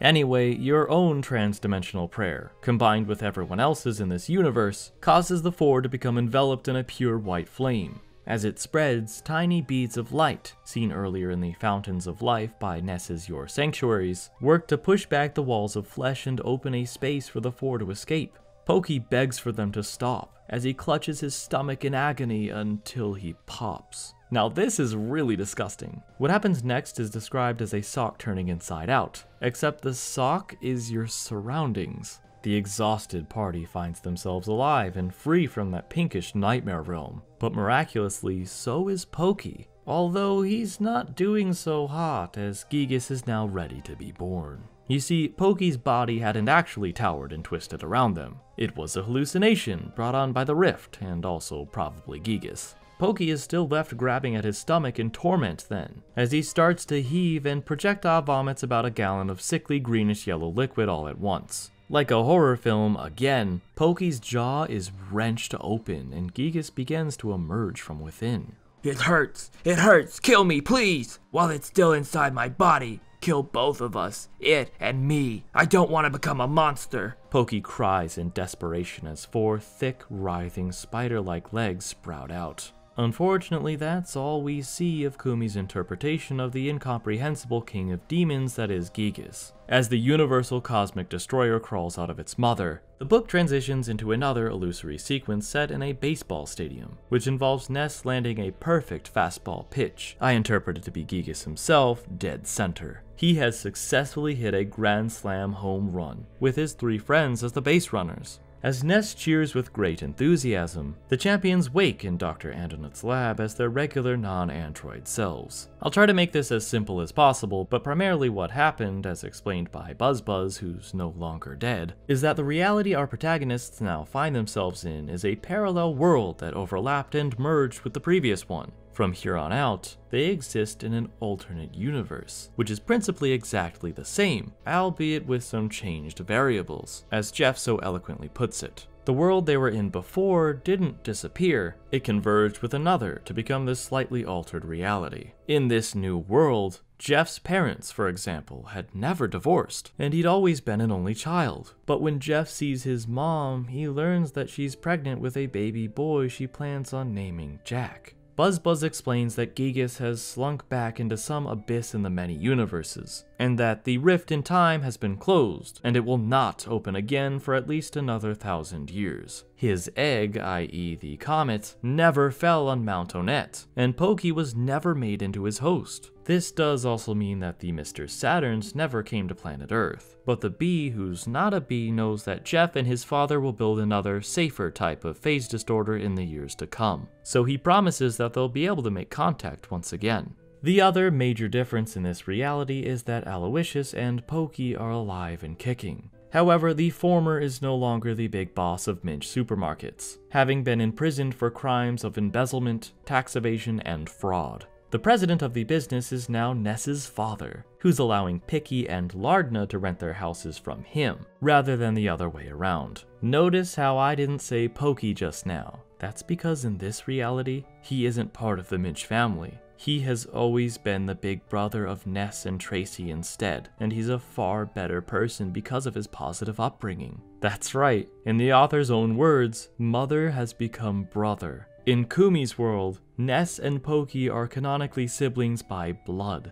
What an ending. After reading this, I had one major question. If that hypothetical Mother 3 novel by the same author did exist, how would it work in terms of Pokey being the main antagonist? I think that it's still possible as Giygas is technically alive. He'll just need another 1000 years to escape his prison between dimensions, an amount of time that absolutely tracks. While the time span between both games is never specified, it's speculated that it could very well be a millennium, based on Leder's speech and certain comments from Pokey, who has become immortal. I can't imagine Mother 3 without a pseudo-Nazi pig empire, so perhaps Giygas could simply take the form of King P, since this almighty abomination must have retained the memory of its host from the original timeline. The only other question I'm left scratching my head about is how in the world Giegue from the first novel became this spider-like beast. His change in appearance was hardly explained at all in the game, but one can sort of fill in the blanks. I always presumed Giegue went insane after his confrontation with Ninten and the loss of Maria. Then he somehow gained more power than his body and mind could ever hope to contain. But that doesn't happen in the novel. Giegue leaves with Maria in peace. I guess I'll just have to regretfully throw my shoulders up into a shrug and chalk this enigma up to this book exists in an alternate reality to the first one.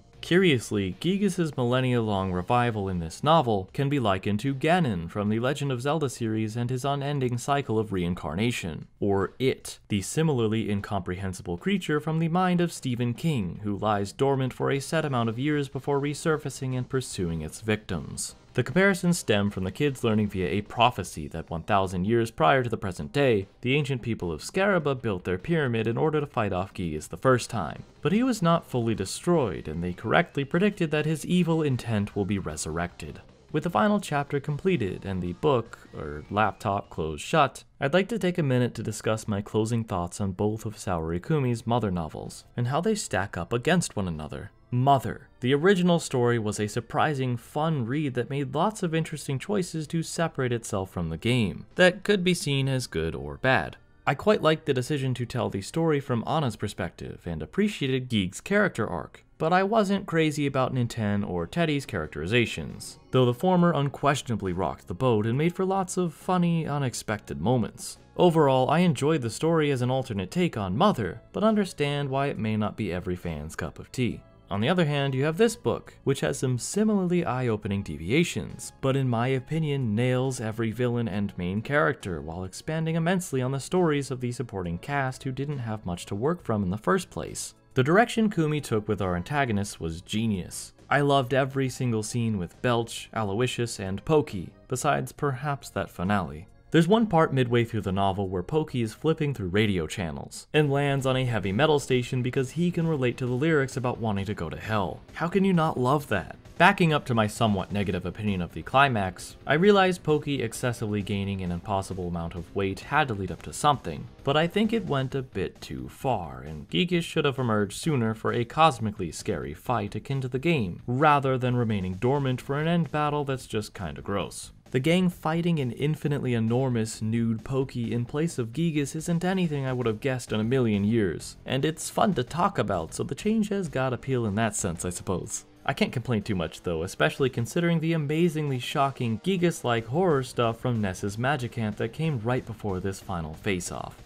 fans often dream about what an Earthbound animated movie or television series would look like, and I think that with some tweaks to a few key moments from this novel, the answer is right here. If it were up to me, I'd certainly add Moonside back in. Remove the more questionable content like the predatory folks in Summers, also maybe skip that segment about Pooh being basically already married to a 7-year-old he's been betrothed to since birth, then revamp the ending to better match the video game. Otherwise, I'm fine with the progression of the events as they happen here, and I think that adapting these moments could truly make for something special. All in all, I think that Mother fans should at least try reading one of these two books. Go for whichever one sounds more appealing. Again, order doesn't matter, and read the first few chapters. If I had to recommend one over the other, I'd choose Mother 2, as I really enjoyed it and think Kumi got most of the characters right where it counts. The plot thoroughly captivated me from beginning to end in its own right too. I had only a rough idea of what was coming next, and that's awesome. It surprised me as a die-hard fan.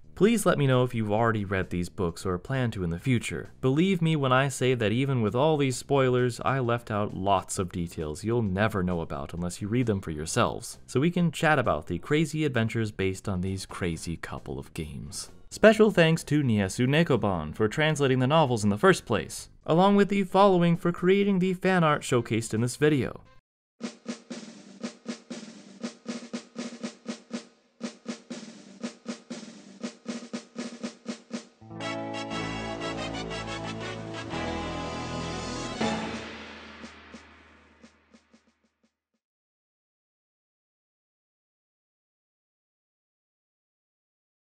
Le Grand Cahier, known in English as The Notebook, not that one, is the first in a set of three novels written by Hungarian author Agota Kristof. Back when Mother 3 was still slated for release on the Nintendo 64, series creator Shigesato Itoi revealed that the names of the game's twin brothers, Lucas and Claus, were inspired by the twin narrators of the same name from Kristof's story. This is just one of many parallels to the game though. Factoring in every similarity, it's easy to see the heavy influence these books had on Itoi when he first wrote the game's script. The notebook begins with Lucas and Klaus, who are made to live with their abusive grandmother in a border town to survive the war, as their mother can no longer support the two of them. Living conditions in this new home are vile. The children are left unbathed and barefoot as their grandmother sells all of their belongings. Even the townsfolk see the boys as scoundrels, not hesitating in physically and verbally abusing them. In order to adapt to this cruel environment, the twins vow to toughen themselves up via exercises of the body. They whip each other with belts to normalize pain, starve themselves to conquer hunger, and practice inflicting cruelty by murdering innocent creatures. In an effort to become truly stoic, their quote unquote exercise of the mind involves repeating words and phrases their mom lovingly used to tell them until the meaning and sentiment is gone. Statements that make the twins tear up to remember have become too painful to bear, so they repress the memory of their mother, just like Claus is forced to do as the masked man at the beginning of Mother 3's final battle.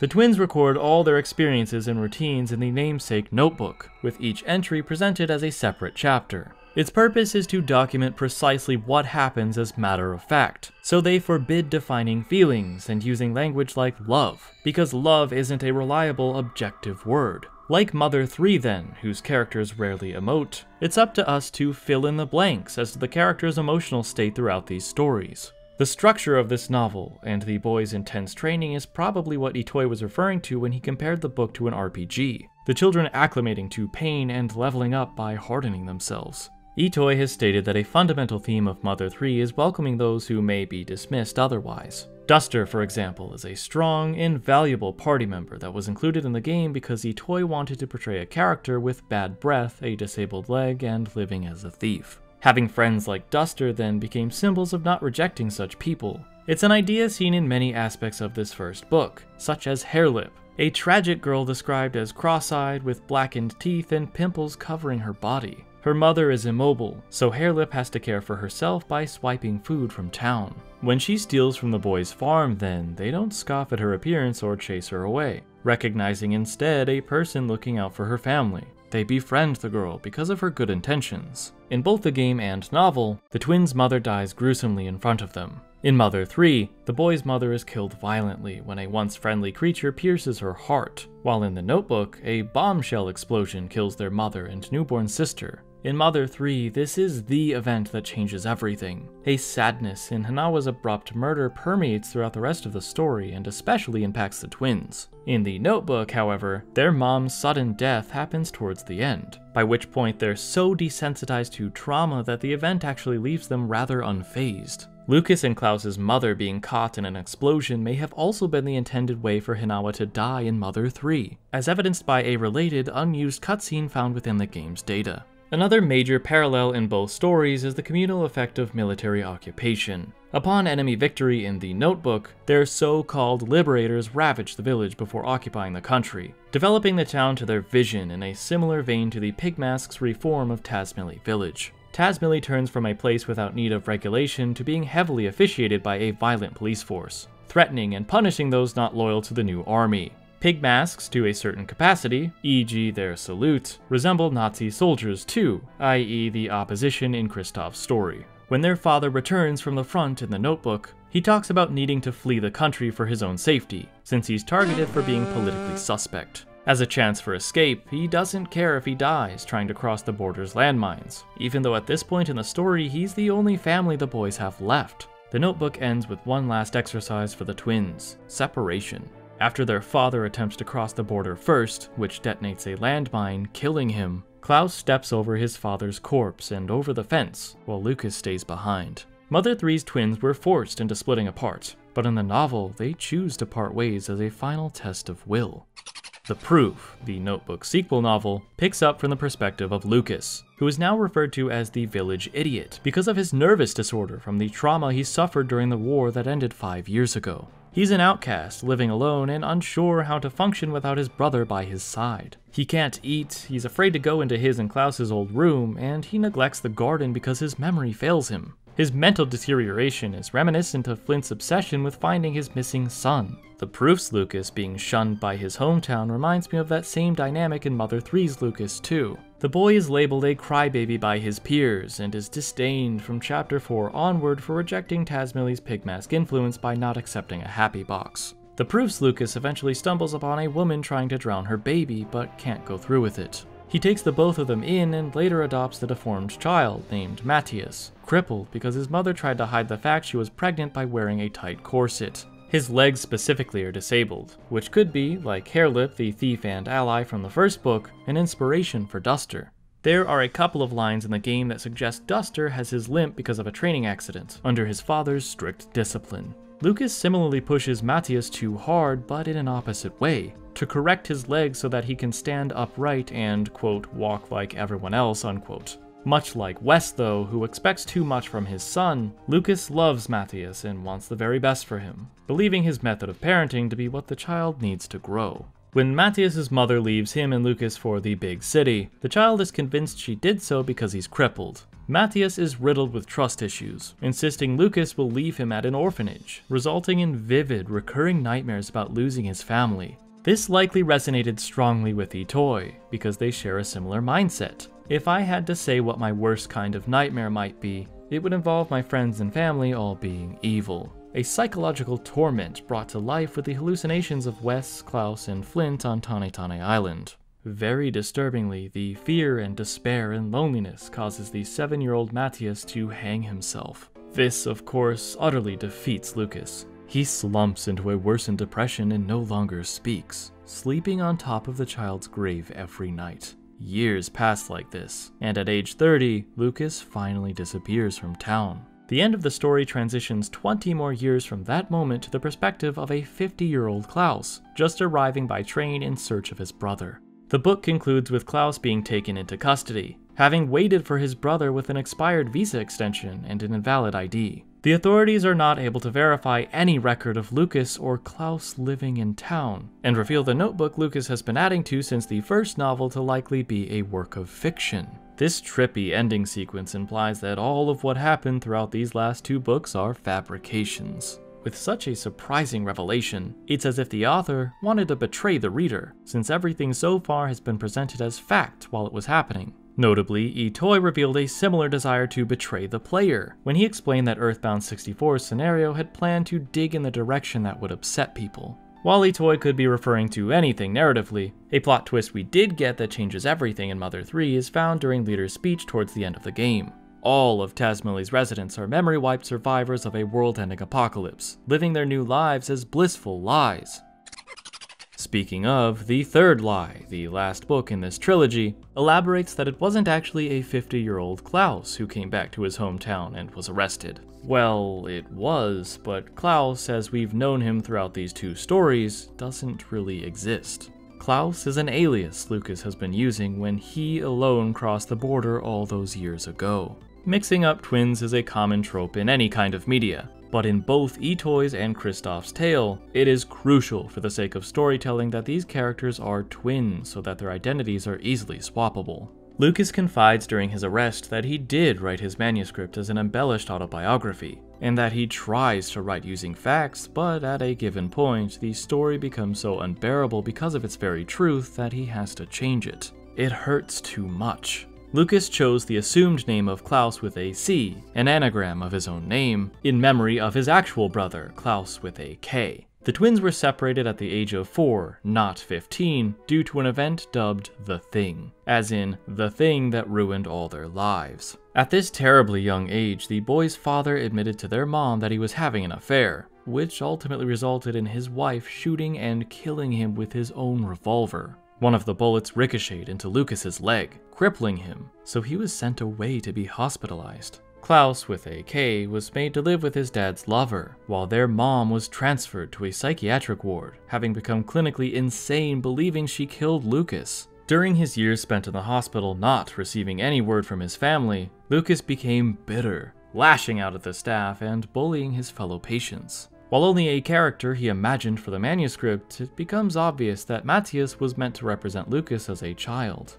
Lucas was always the one with the deformed leg, believing that everyone's families hate them because of their disabilities, just like Matthias's greatest fear and the very reason for killing himself in the proof. Their mother didn't actually die from a shell landing in their garden like in the notebook either. It was instead Lucas's hospital that was bombed from the war. This forced him to relocate, to live with a mean peasant woman he learned to call grandmother. Of course, when Lucas decided to cross the border then, it wasn't his father he made go first. It was a willing stranger Lucas only claimed to be his dad as a convincing story for when he made it to the other side. It is in this country that Lucas, claiming to be an adult of 18, assumed the name Claus with a C. Three lies so that he wouldn't be sent back. His alias is the third lie. It is a sick, dying Lucas at age 50 who returns and is imprisoned in town looking for his brother Klaus. When he finally does find and meet with his brother in the capital, though, the encounter is anything but wholesome. Like protagonists changing in Mother 3's chapters, the book shifts one last time to Klaus's point of view, painting the tale of a miserable man who's wasted away his life and health working at a printing press.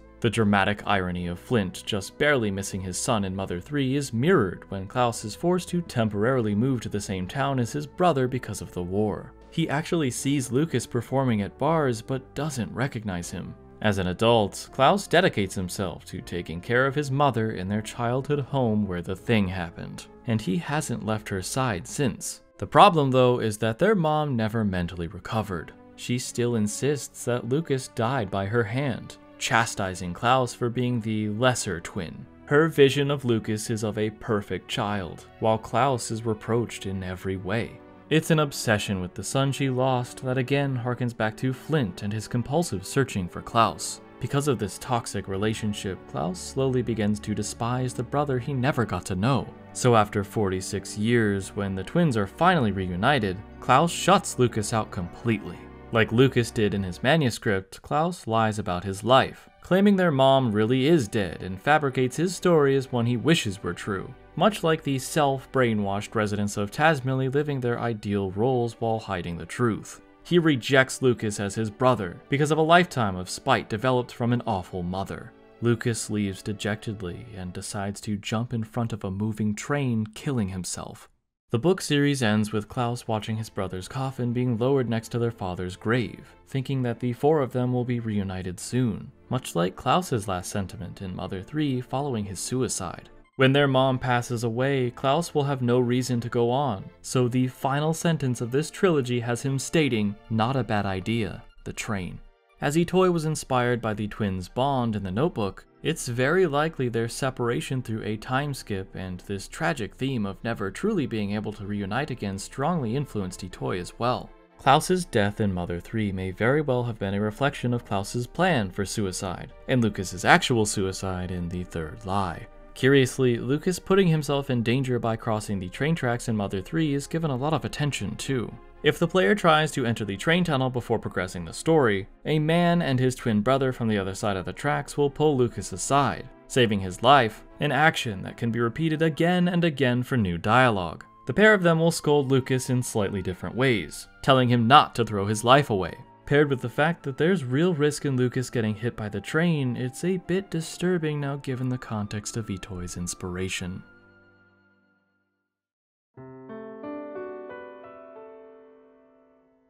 Thank you.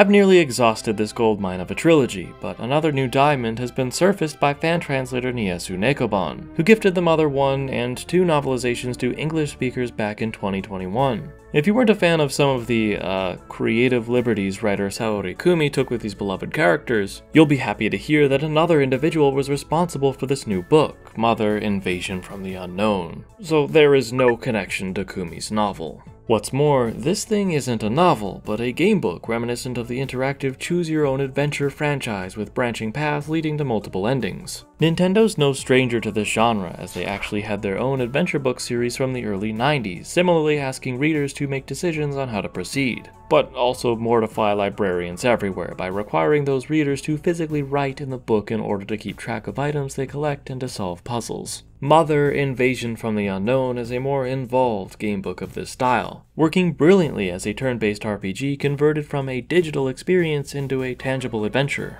Playing this for the first time and having not experienced anything like it before, I was amazed at how all the mechanics were translated to a completely different medium. You can essentially do anything that's possible in the video game, from returning home to mom and eating your favorite meal to grinding for experience and money to buy a better weapon. Besides some wild story differences I'll be exploring later, this feels like a successful port of the game to inferior hardware. That hardware in this case just happens to be good old pen and paper. Having an understanding of the original and how it plays does actually help you in some cases as well. To show what I mean, at one point you're given the option to speak with one of three people in the reindeer train station. After choosing the boy in the cap, the middle-aged man, or the old woman, you'll have to flip to the page where Doug has left the platform, so you can't talk to them all at once, and it's kind of a pain to get back in there. If you're already familiar with Mother, though, you'll know that the old woman is the one with an important item you'll need. The other two individuals are not particularly helpful, so you can save time by choosing Gran Gran.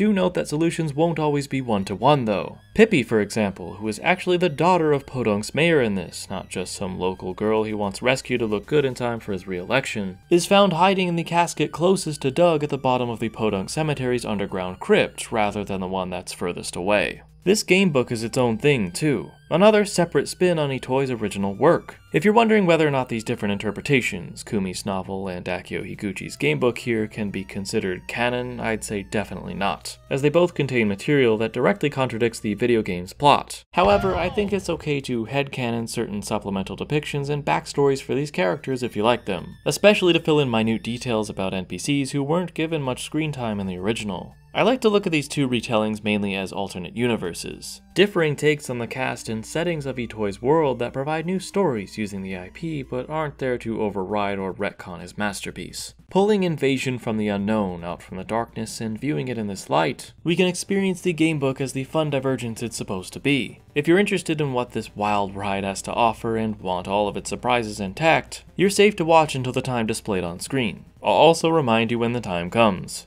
This video will be segmented into a couple of parts. The first is a brief explanation of how to play and a look into the game's surprisingly gory introduction, while the second segment will be a spoiler heavy analysis of the abundance of shocking themes found within.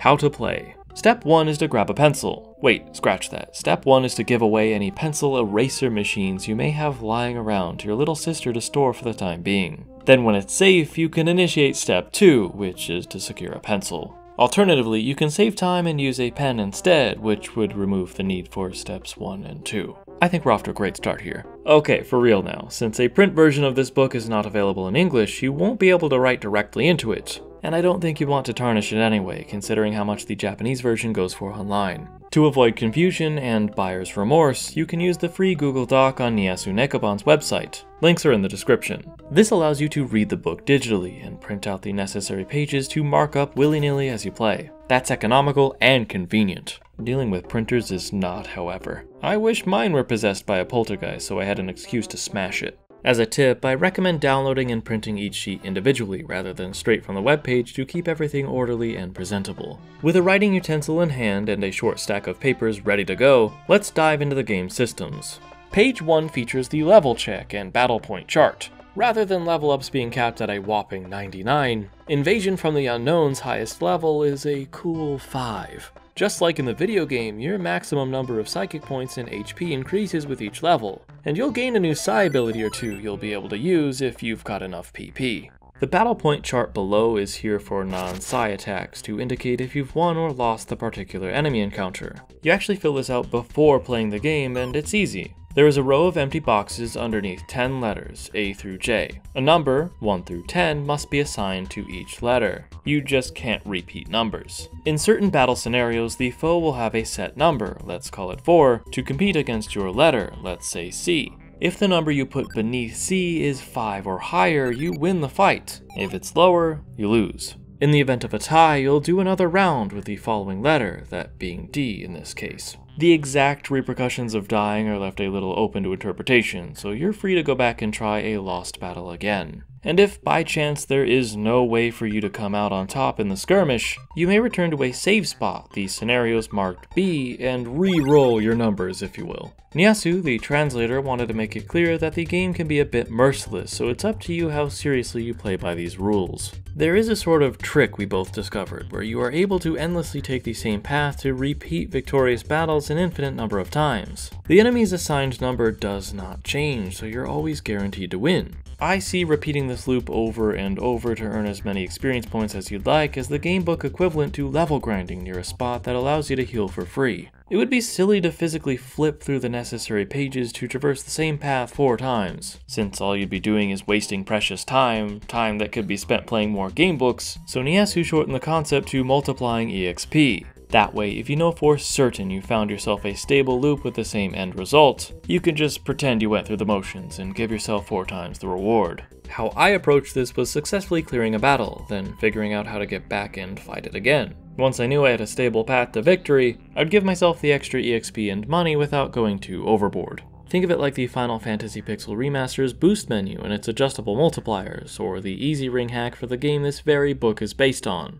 Even with this quality of life measure, the quest can still be quite challenging, as brute force isn't always enough to ensure a win. There are some clear limitations in place for balance too, meaning you can't just go and give yourself 120 EXP from the get-go. You are initially capped at 50 experience points, which means you can't go higher than level 3 until you progress far enough in the story, making me think that the writer was aware of this so-called trick anyway. You can decide how you'd like to enjoy the game, but it's not as if a line hadn't already been drawn. Now that I've justified my own playstyle, I realize I've been talking for a while and have only covered this very first page. But the rest of the instructions are incredibly straightforward, so let's breeze right through them.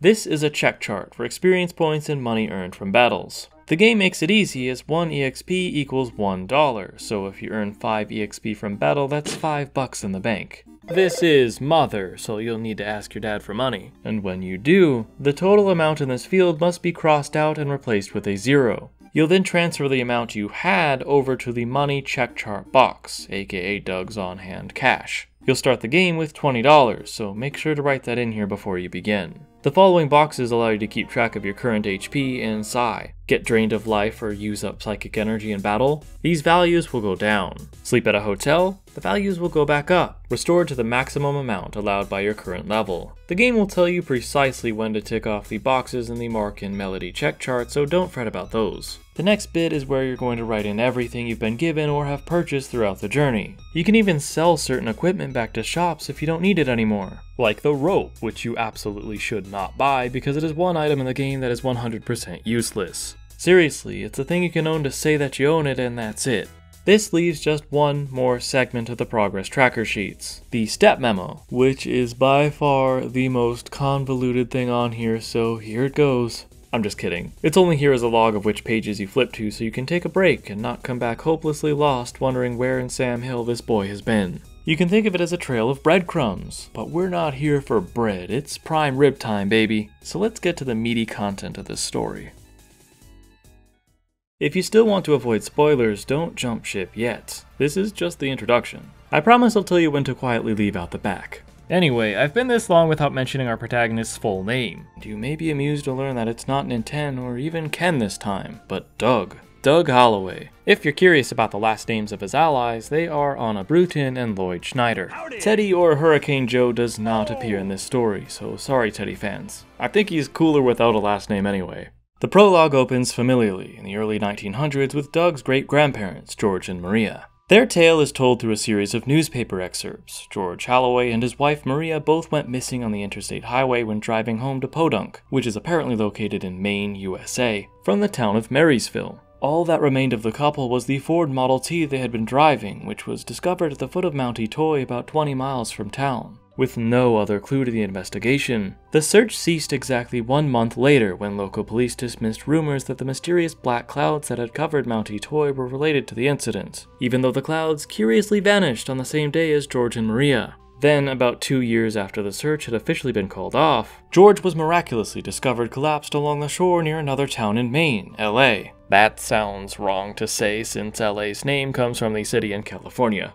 Anyway, George was transferred to a hospital in Youngtown for treatment, but while he regained consciousness, he claimed to have no memory of the two years during which he went missing, and had stated to have no knowledge of the whereabouts of his wife Maria. The book then fast forwards 84 years, in 1988, to Doug's point of view. He's dragged out of dreamland not by his mother, but by the military helicopters that have occupied the skies for the last several days. We're told that Podunk is on lockdown by martial law because of murders, disappearances, and other strange things happening all over the place every day. Mr. Crockett, for example, is a local shoemaker who insists that he saw his nephew Harold wandering aimlessly while he was out fishing, staggering along the water's edge like a marionette with a broken string, staring blankly off into the distance. That's slightly concerning in and of itself, but made all the more disturbing when we learn that Harold's been deceased for a while now. He was hit and killed by an express train running along the nearby Paradise Line sometime last year. Mr. Crockett was not having a flashback or hallucinating either. He definitely saw his nephew out walking around as a member of the undead.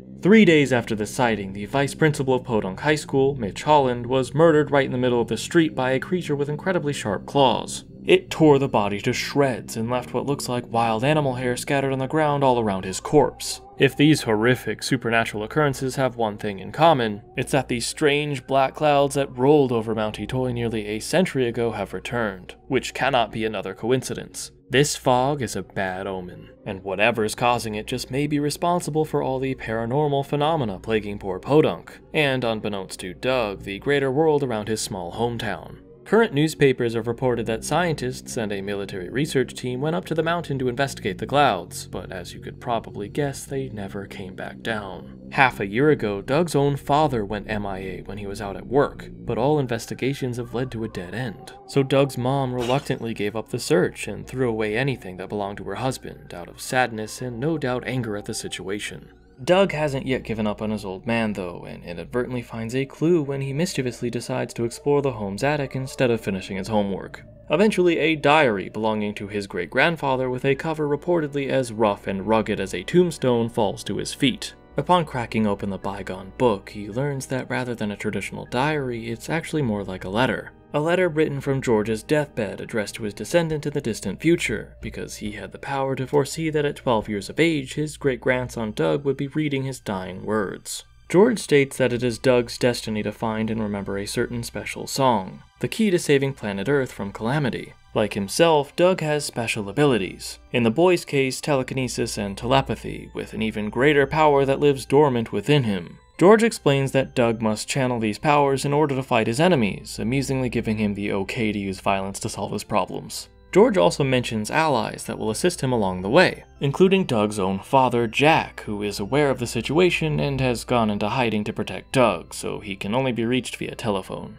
Doug will journey with two aforementioned friends, who are notably said to be children from other families in George's bloodline, and as such have powers similar to, and perhaps even stronger than, Doug's. This means that by extension, Anna and Lloyd are related to Doug, so love triangles are off limits. And also, Lloyd has Psi in the story. Something of note to me is that Anna being likely more powerful than the main protagonist is a constant scene in the video game and the novelization, which continues on here. The diary then cuts off abruptly as the rest of the page has been torn off. Wiping away his tears, Doug then hears his mother screaming downstairs, and you should be able to guess what happens next. An electric lamp possessed by a poltergeist floating around the room attacks Doug, who explodes the rogue appliance into fine dust with his mind powers. That life changing experience, paired with his ancestors' words, is enough for the plucky kid to get serious. So, readying a backpack loaded up with a knife, sandwiches made by his mama, cheese sandwich, rain gear, extra pairs of underwear, $20, and an inhaler. You don't have to write down any of this like I did besides the $20, by the way. Doug sets out without much fuss from his mother, and where he immediately travels next is up to you. The first decision of this gamebook is to head north or south. It is here that I'm going to give you, my lovely viewers, a third option, as this is where you should stop the video and play the gamebook for yourself if you'd like to remain spoiler free. I'm not going to summarize each and every detail of the plot, just the darker moments. And there's a lot of them if you couldn't tell by the prologue, but plenty will be discussed regardless, so this is your final warning. For those of you still with me, where shall we head next? I say north because that takes us directly to the charming little district literally named Skid Row for Doug's first confrontation with a feral man possessed by dark forces. You can rely on the default knife, which either does the job or gets Doug strangled, but not killed. He just loses two heart points. I mean, health points. Wait, no, they're hit points here. I'm sorry, it gets confusing when the same initialism is used across the board for these types of games, albeit spelled out differently. Anyway, Doug kicks the fiend in the crotch and runs away to the heart of Podunk. The simplest way to handle this baddie is to purchase a bat and strike him in the head, forcing the creep to come to his senses for a respectable 2 experience points. You see, this is the first exploitable loop I was referring to and showed off earlier. If you have the bat, one can easily flip to scenario number 97 and head back to Skid Row to get in that same confrontation and smack him in the skull with no Hewlett Packard's, HP lost, or psychic points spent. Alternatively, if you choose to fight with a knife and your number that correlates to C happens to be greater than 3, you can keep repeating this loop for a slightly higher 3 EXP, again with no repercussions. While you are technically able to lose all of your HP if you enter the brawl with a low amount for some reason and lose, you won't die in the sense that you can't resume play. Reaching 0 HP doesn't make for lost progress, it just locks you out of certain paths you could have taken otherwise. The only way to trigger a true game over is if the game explicitly tells you that your characters have died. When the game punishes you more than simply subtracting a few Hamtaro plushies from your total and allowing you to escape, it wants to make sure you suffer a swift and violent end. These game overs are so hilariously brutal I can't even believe some of them are in here. And there's over 40. I've been pretty eager to talk about them, so I'm just gonna rattle off a bunch in quick succession. Here we go. Doug can be run over by a truck, shanked by an old woman, mowed down by a polar bear, who's rumored to have already eaten another child alive, impaled by a Starman spear, crushed or squeezed to death by robots, sliced clean in half, roasted in the desert sun, gunned down by the guy who lends out his piloting services, yes, this one, petrified, engulfed in flames and reduced to ash, blown to bits after running over a landmine, torn to shreds by and turned into a zombie, overtaken by the alien leader Giegue's dark mind control and convinced to dash off of a cliff, charred by a violent lightning assault, devoured by an alligator, a gargoyle, or a titany, take your pick, and finally, the most surprising death of all, smashed into pieces by freaking Cthulhu. You know those curse words from the video game that can be given by scientists that have a funny effect in battle? Well, they make an appearance here. And in the game book, the curse words are revealed to be the infamous occult chant.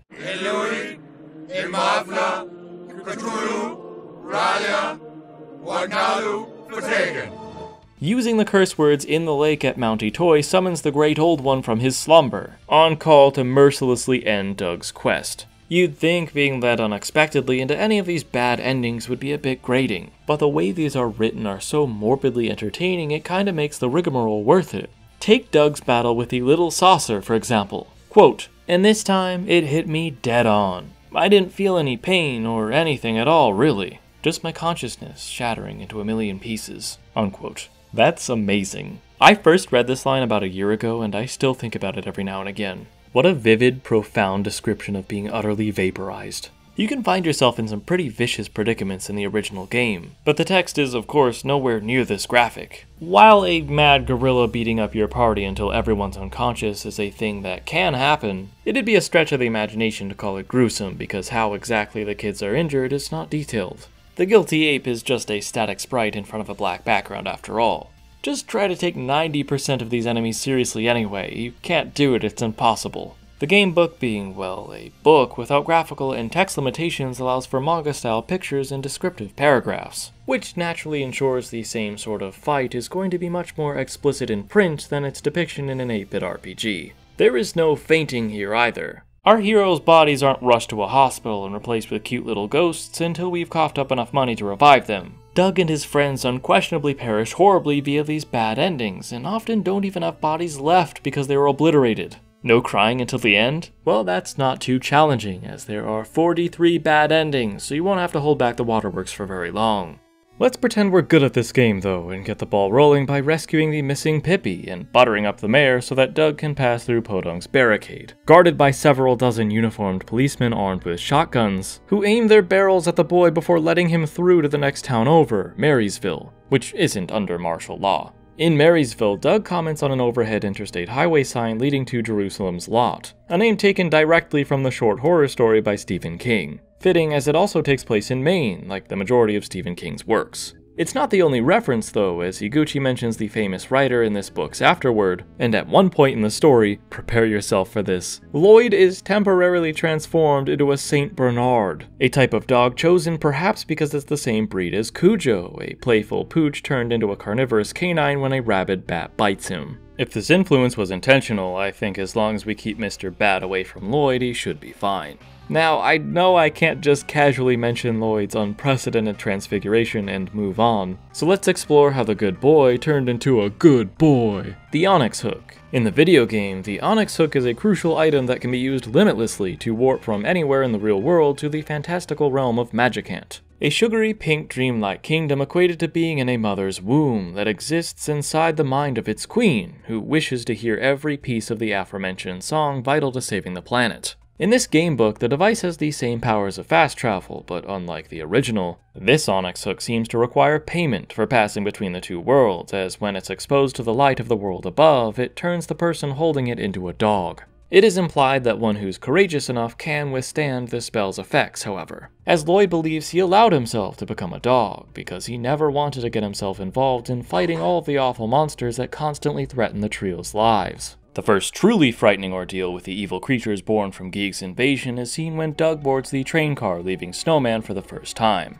The passengers initially seem ordinary, but when one of them turns towards Doug and reveals a disfigured face with chapped purple lips and a nearly toothless mouth, his heart sinks when he realizes a zombie somehow snuck itself in among the crowd. But that fear for them quickly turns into fear of them when he notices everyone else's faces have rotted away too. This train to Busan, I mean Spookane, is full of the living dead, and if you don't want Doug to join their ranks, there's only one way to survive. He must hurl himself through the window into a conveniently placed cabbage patch as the ghost train pulls into the station for the porter to deal with. If that wasn't traumatic enough, the first thing Doug witnesses when he enters the town of Spookane is the bone of an arm dangling from a truck's open window, belonging to a human skeleton. The streets are completely deserted, save for more walking corpses and pseudo-zombies who turn back to normal once defeated, so the only other individuals able to chat are this drunken man who warns about the local haunted manor, and a spiritual therapist who can restore Doug's senses if his heart begins to turn to stone in said haunted house. I think it's really cool that you may never have to visit the healer if you can avoid the bionic bat's petrifying attack, but if you do make the wrong choices and are struck with this deadly affliction, the player is rewarded with extra lore, almost as if to make up for the inconvenience. Turning to stone allows the player to enter the healer's psychic clinic. Well, they'll be treated for free because the man divulges the fact that he's indebted to Doug's father. That's a detail you could miss completely, which reminds me of RPG characters that have easily missable dialogue, only accessible when speaking with them at a particular moment in the game. The Mother series is all about these little bonuses rewarding curious players, and it's a big reason why I can't stop coming back to it.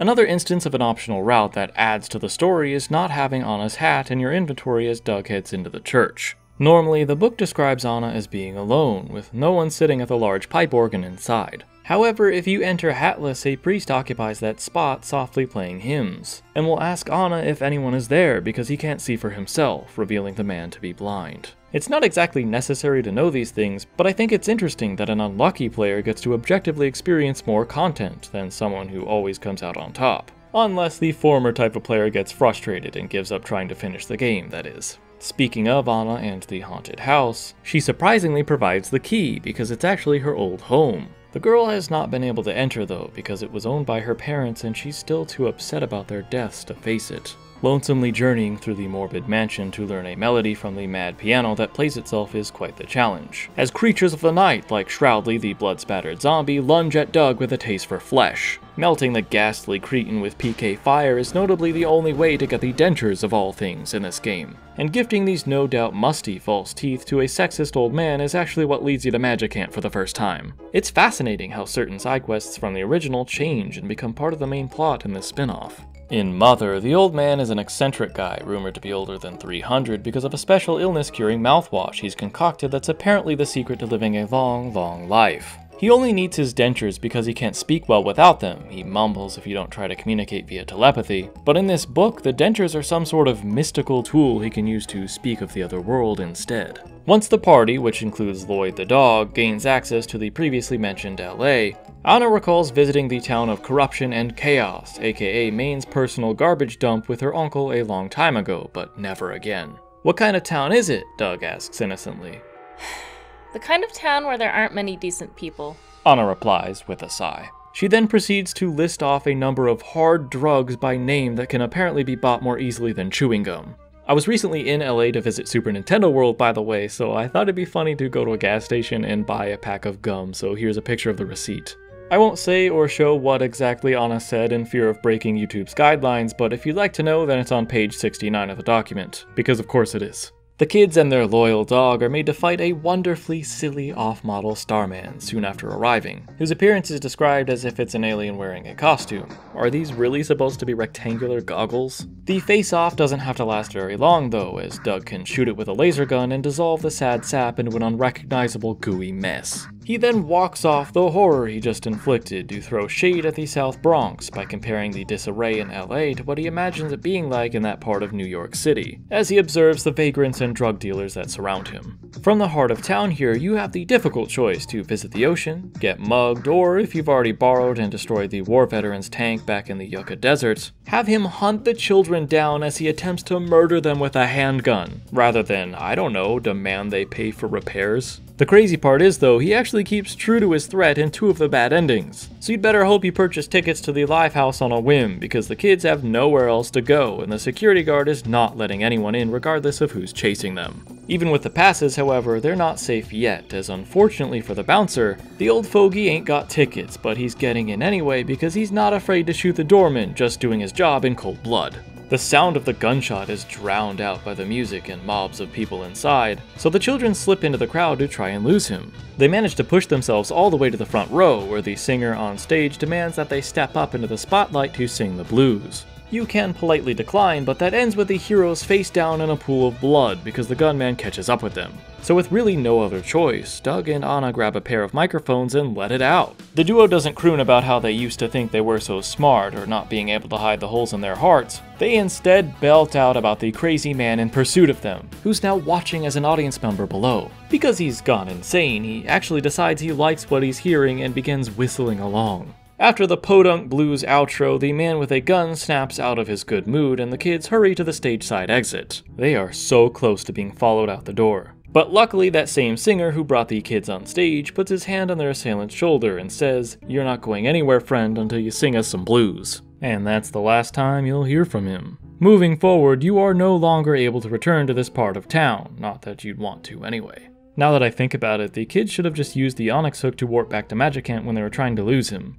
Speaking of getting lost, though, I think now is a perfect time for a story that's relevant, I promise. In 2022, my wife and I were staying in an Arizona city about four hours from where we live for a mini vacation. We went out one night to check out a cool lava river cave we had heard about, so we filled our backpacks with flashlights, water, and a few snacks, expecting we'd be in and out in about an hour. I didn't want to explore much longer than that because we had just booked a haunted history tour scheduled for 9 o'clock. We were fully aware that there'd be no cell service underground, and we considered the possibility of getting lost, but figured as long as we'd start heading back at around 8, we'd be fine. Well, we entered the tunnel at around 7.30 and did not find our way back out for another two hours. We thought we were keeping track of where we were going, but the twisty lava tube was filled with numerous branching paths, and it all sort of blended together. There was nothing to easily differentiate one area from the next, besides some low ceilings you had to basically crawl through, and some occasional graffiti like bouillon soup and hot dog, but they were few and far between. My unreliable sense of direction didn't help us escape. So we wound up running in circles. I'm not gonna lie, it was kinda scary being disoriented in the cold dark, looping around a labyrinth in different configurations like it was some kind of special hell we were trapped in.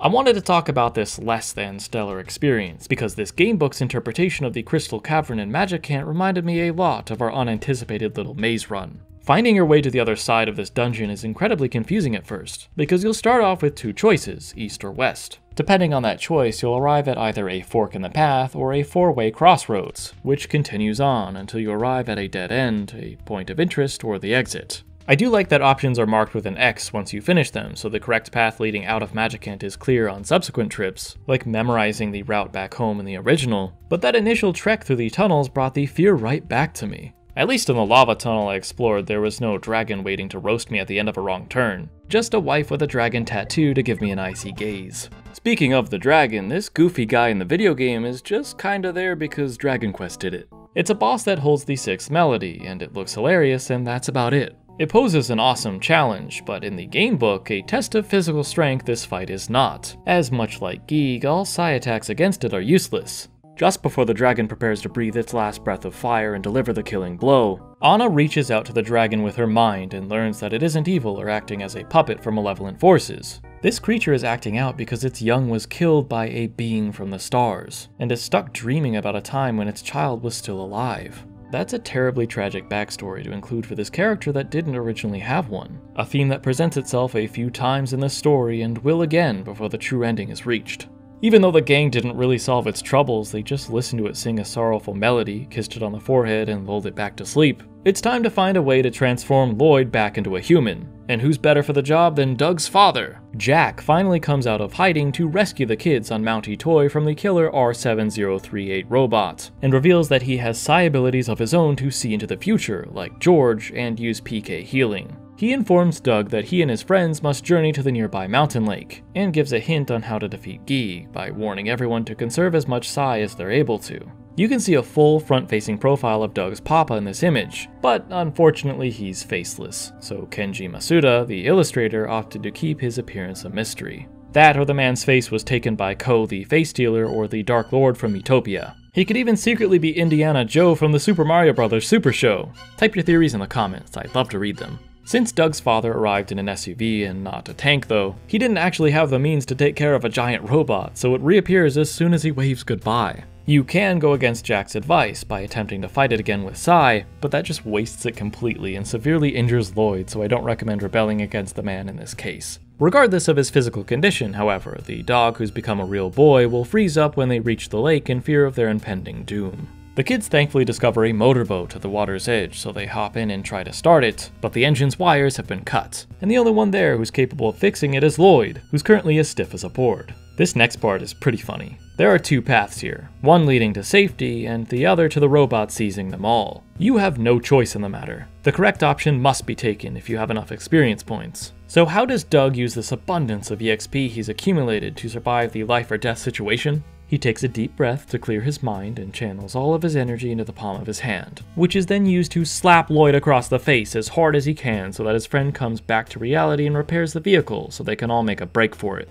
The boat takes them out to the middle of the lake, but then sputters out of commission, where a telepathic voice asks for a specific item, the can of words. This is an example of the game being ruthless if you aren't well enough prepared. Using the curse words, of course, causes the cosmic horror to obliterate everyone, but not owning any at all results in a less interesting demise at the hands of the colossal automaton who had ample time to meet you at the busted boat. The words of love are required to access the laboratory, calling forth a giant whirlpool that drags everyone down to the bottom of the mirror. In the original, the place they wake up in is referred to as the Unknown Lab, but George has been here as he's the one who constructed Eve so that the heroes may match the might of the enemy robots. In the novel, this lab belonged to Lloyd's father, Dr. Distorto, who is a generic enemy type in the video game. Here, though, it's revealed that the strawberry tofu loving scientist who traded Doug the can of words for his favorite snack is in charge of this underwater base. He's the director at the Instant Voice Lab we visited earlier, but also a doctor of engineering at this power robotics laboratory. For the last 20 years, the Doctor's been ordered by the United States Army to work with Eve, a robot recovered from a crashed UFO programmed to fight for Doug.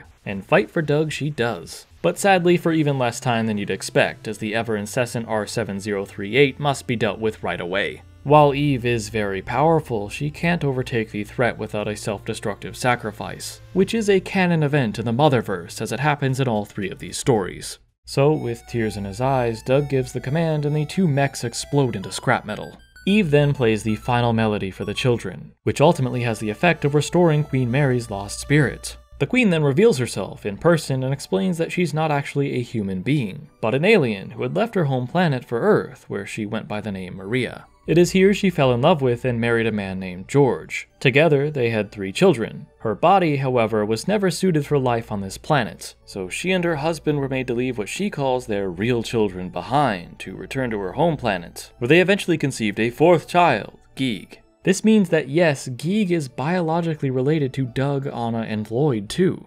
George had a premonition that their newly born son would someday unleash an evil energy onto Earth and take it for himself. The only silver lining in this is that he knew the descendants of his other three children would have the power to stop him. George decided to travel back to Earth in the final years of his life and began laying down the pieces of a plan that would help these descendants defeat Giegue when the time came, like hiding the melodies of that special lullaby Maria used to sing to Giegue. After the cosmic destroyer had left for Earth, Maria followed after him in her own ship when the mother met with an unfortunate accident and was forced to create the subspace of Magicant to keep herself safe albeit causing her memories to be lost in the process. Now, hearing the completed lullaby once more in the current time, her spirit is able to become whole again, and so Magicant disappears while her soul joins George's in the afterlife. The purpose of their quest and what exactly they've been gathering has been made crystal clear, but there's still the problem of how to reach Giegue. Wait, never mind, that solves itself when the black clouds of Mount Itoi begin to part and Giegue descends in his mothership to reach them first. He cannot stand to be related by blood to such inferior creatures he sees as playthings, and so he's decreed they must perish before him. Giegue attacks with shockwaves of wicked telepathy that brings the trio to their knees, sending dark thoughts to sear painfully through their brains. Doug notably cries out, Please give us strength, in desperation, which is a nice parallel to Paula's prayers when fighting Giygas at the end of Mother 2. Giegue's power to send out overwhelming, intrusive thoughts affects each child differently, targeting the guiltiest moments of their lives. For Anna, we're given a glimpse into her tragic backstory, detailing a car crash she lost both of her parents to. Anna was asleep in the back seat of the car, and had a dream she was playing a game with her father that involved covering his eyes and making him guess who's behind him. She was just playing with him in the dream, but because of her psychic powers, she inadvertently blinded him for real while he was driving, and it caused him to wreck the car. It's not her fault. Well, I guess technically it is, but she couldn't know or control what was happening. So, on top of the general devastation of losing her parents, she also blames herself for their deaths. I wonder if having blinded her father was the reason she assisted the blind priest at her church, too. For Doug, we learn that when he was just 8 years old, he had pushed his little sister Mimi down the stairs, which broke one of her legs. Giegue leans into the motivation Doug initially had to push his kid sister in the first place, and tries to convince the boy that he did it because he wanted to kill her. That's right, you tried to kill your sister. You tried to kill her. You wanted her dead. Lloyd's dark thoughts here are comparatively pretty tame, but the poor kid has been bullied all of his life. So Giegue just prepares a depressing montage of his classmates and parents calling him a coward. Giegue also forces images of, quote, horrible, nightmarish things, like scenes straight from hell itself, things no human should ever see, unquote, into their minds as they try to sing the song. But if your HP is high enough to endure his wrath, he eventually won't be able to listen to the song any longer, likely due to the pain of losing his own mother, stirring conflicting feelings about humanity, and retreat back into the stars from whence he came. With Earth saved from the invasion, we're treated to a brief epilogue, which, hey, is more than Famicom players got, as the first version of Mother ends bluntly with Giegue's surrender. In this epilogue, Doug throws away his inhaler, because I guess he can just decide not to have asthma anymore. I wish I could decide not to have OCD anymore. He then likens what the three of them learned from their arduous journey to the Wizard of Oz. Doug would be the Scarecrow, Anna the Tin Man, and Lloyd the Cowardly Lion. He then ponders who the Dorothy of the party would be, and the last line of the book reads, Well, I guess that would be you, the one reading this book right now. That's what I'm talking about. I wish more endings would make me feel like I'm Dorothy from The Wizard of Oz. There's no questionable themes of pregnancy to be found here like in the novel either, so that's a plus. There is a little bit more from the author in the afterword to read, which is neat because he describes Mr. Itoi as being similar to the father in My Neighbor Totoro, Tatsuo Kusakabe, a character he actually voices. Like with Saori Kumi's novel, Akio Higuchi writes that Itoi gave him permission to arrange the story however he liked, so it wound up being a version of Mother that is very close to an original story. Having finished two of these original stories based on Mother, in addition to the real thing, I feel like I've leveled up as a fan, and you should too now that you've taken this journey with me. I'm very glad these alternate stories exist. Mother is the shortest of the trilogy, and I've beaten it twice now, but even still, it's easily the one I've invested the least amount of time into. So having external material set in this world with these characters is exciting because it means I get to spend more time thinking about them, enriching my relationship with the original. From the lore filled Mother Encyclopedia to the official lyrics from songs in the Mother original soundtrack, there is no shortage of supplemental content to engage with and enhance a video game already filled to the brim with heart and ambition. The Mother series has not lost its luster to me over the years. In fact, it's quite the opposite. Despite how much I've read, written about, and have replayed these games over and over again, I find myself appreciating this trilogy a little bit more with every year that passes. Yeah, the most recent game in the series was released all the way back in 2006, but this fanbase will never let their fire burn out, as the core games are just that interesting. New material is constantly being produced or uncovered by talented fans too, whether it relates directly to Itoi's masterpieces or was inspired by them. This will be the last Dark Aspects of Mother episode until Earthbound 64 is found and dumped online, or something else substantial comes along. So I wanted to take a moment to express my gratitude for those of you who have been watching these videos over the years. Thank you! As for brand new Mother content, don't worry, I haven't run out of things to talk about, so you can expect more videos about my favorite series in the near and distant future. A big thank you to my patrons, Brian and Susan, Jennifer, Kathleen, Dat Barry, Tori, Captain Harlock, Janssen, and Nene. I also wanted to thank Clyde Mandelin, Kenisu, Nyaasu, Starmen.net, and the Mother Forever team for even making these videos possible. And last but not least, I appreciate all of you who watched this video through to its end. Let it be known that you too are Dorothy from The Wizard of Oz.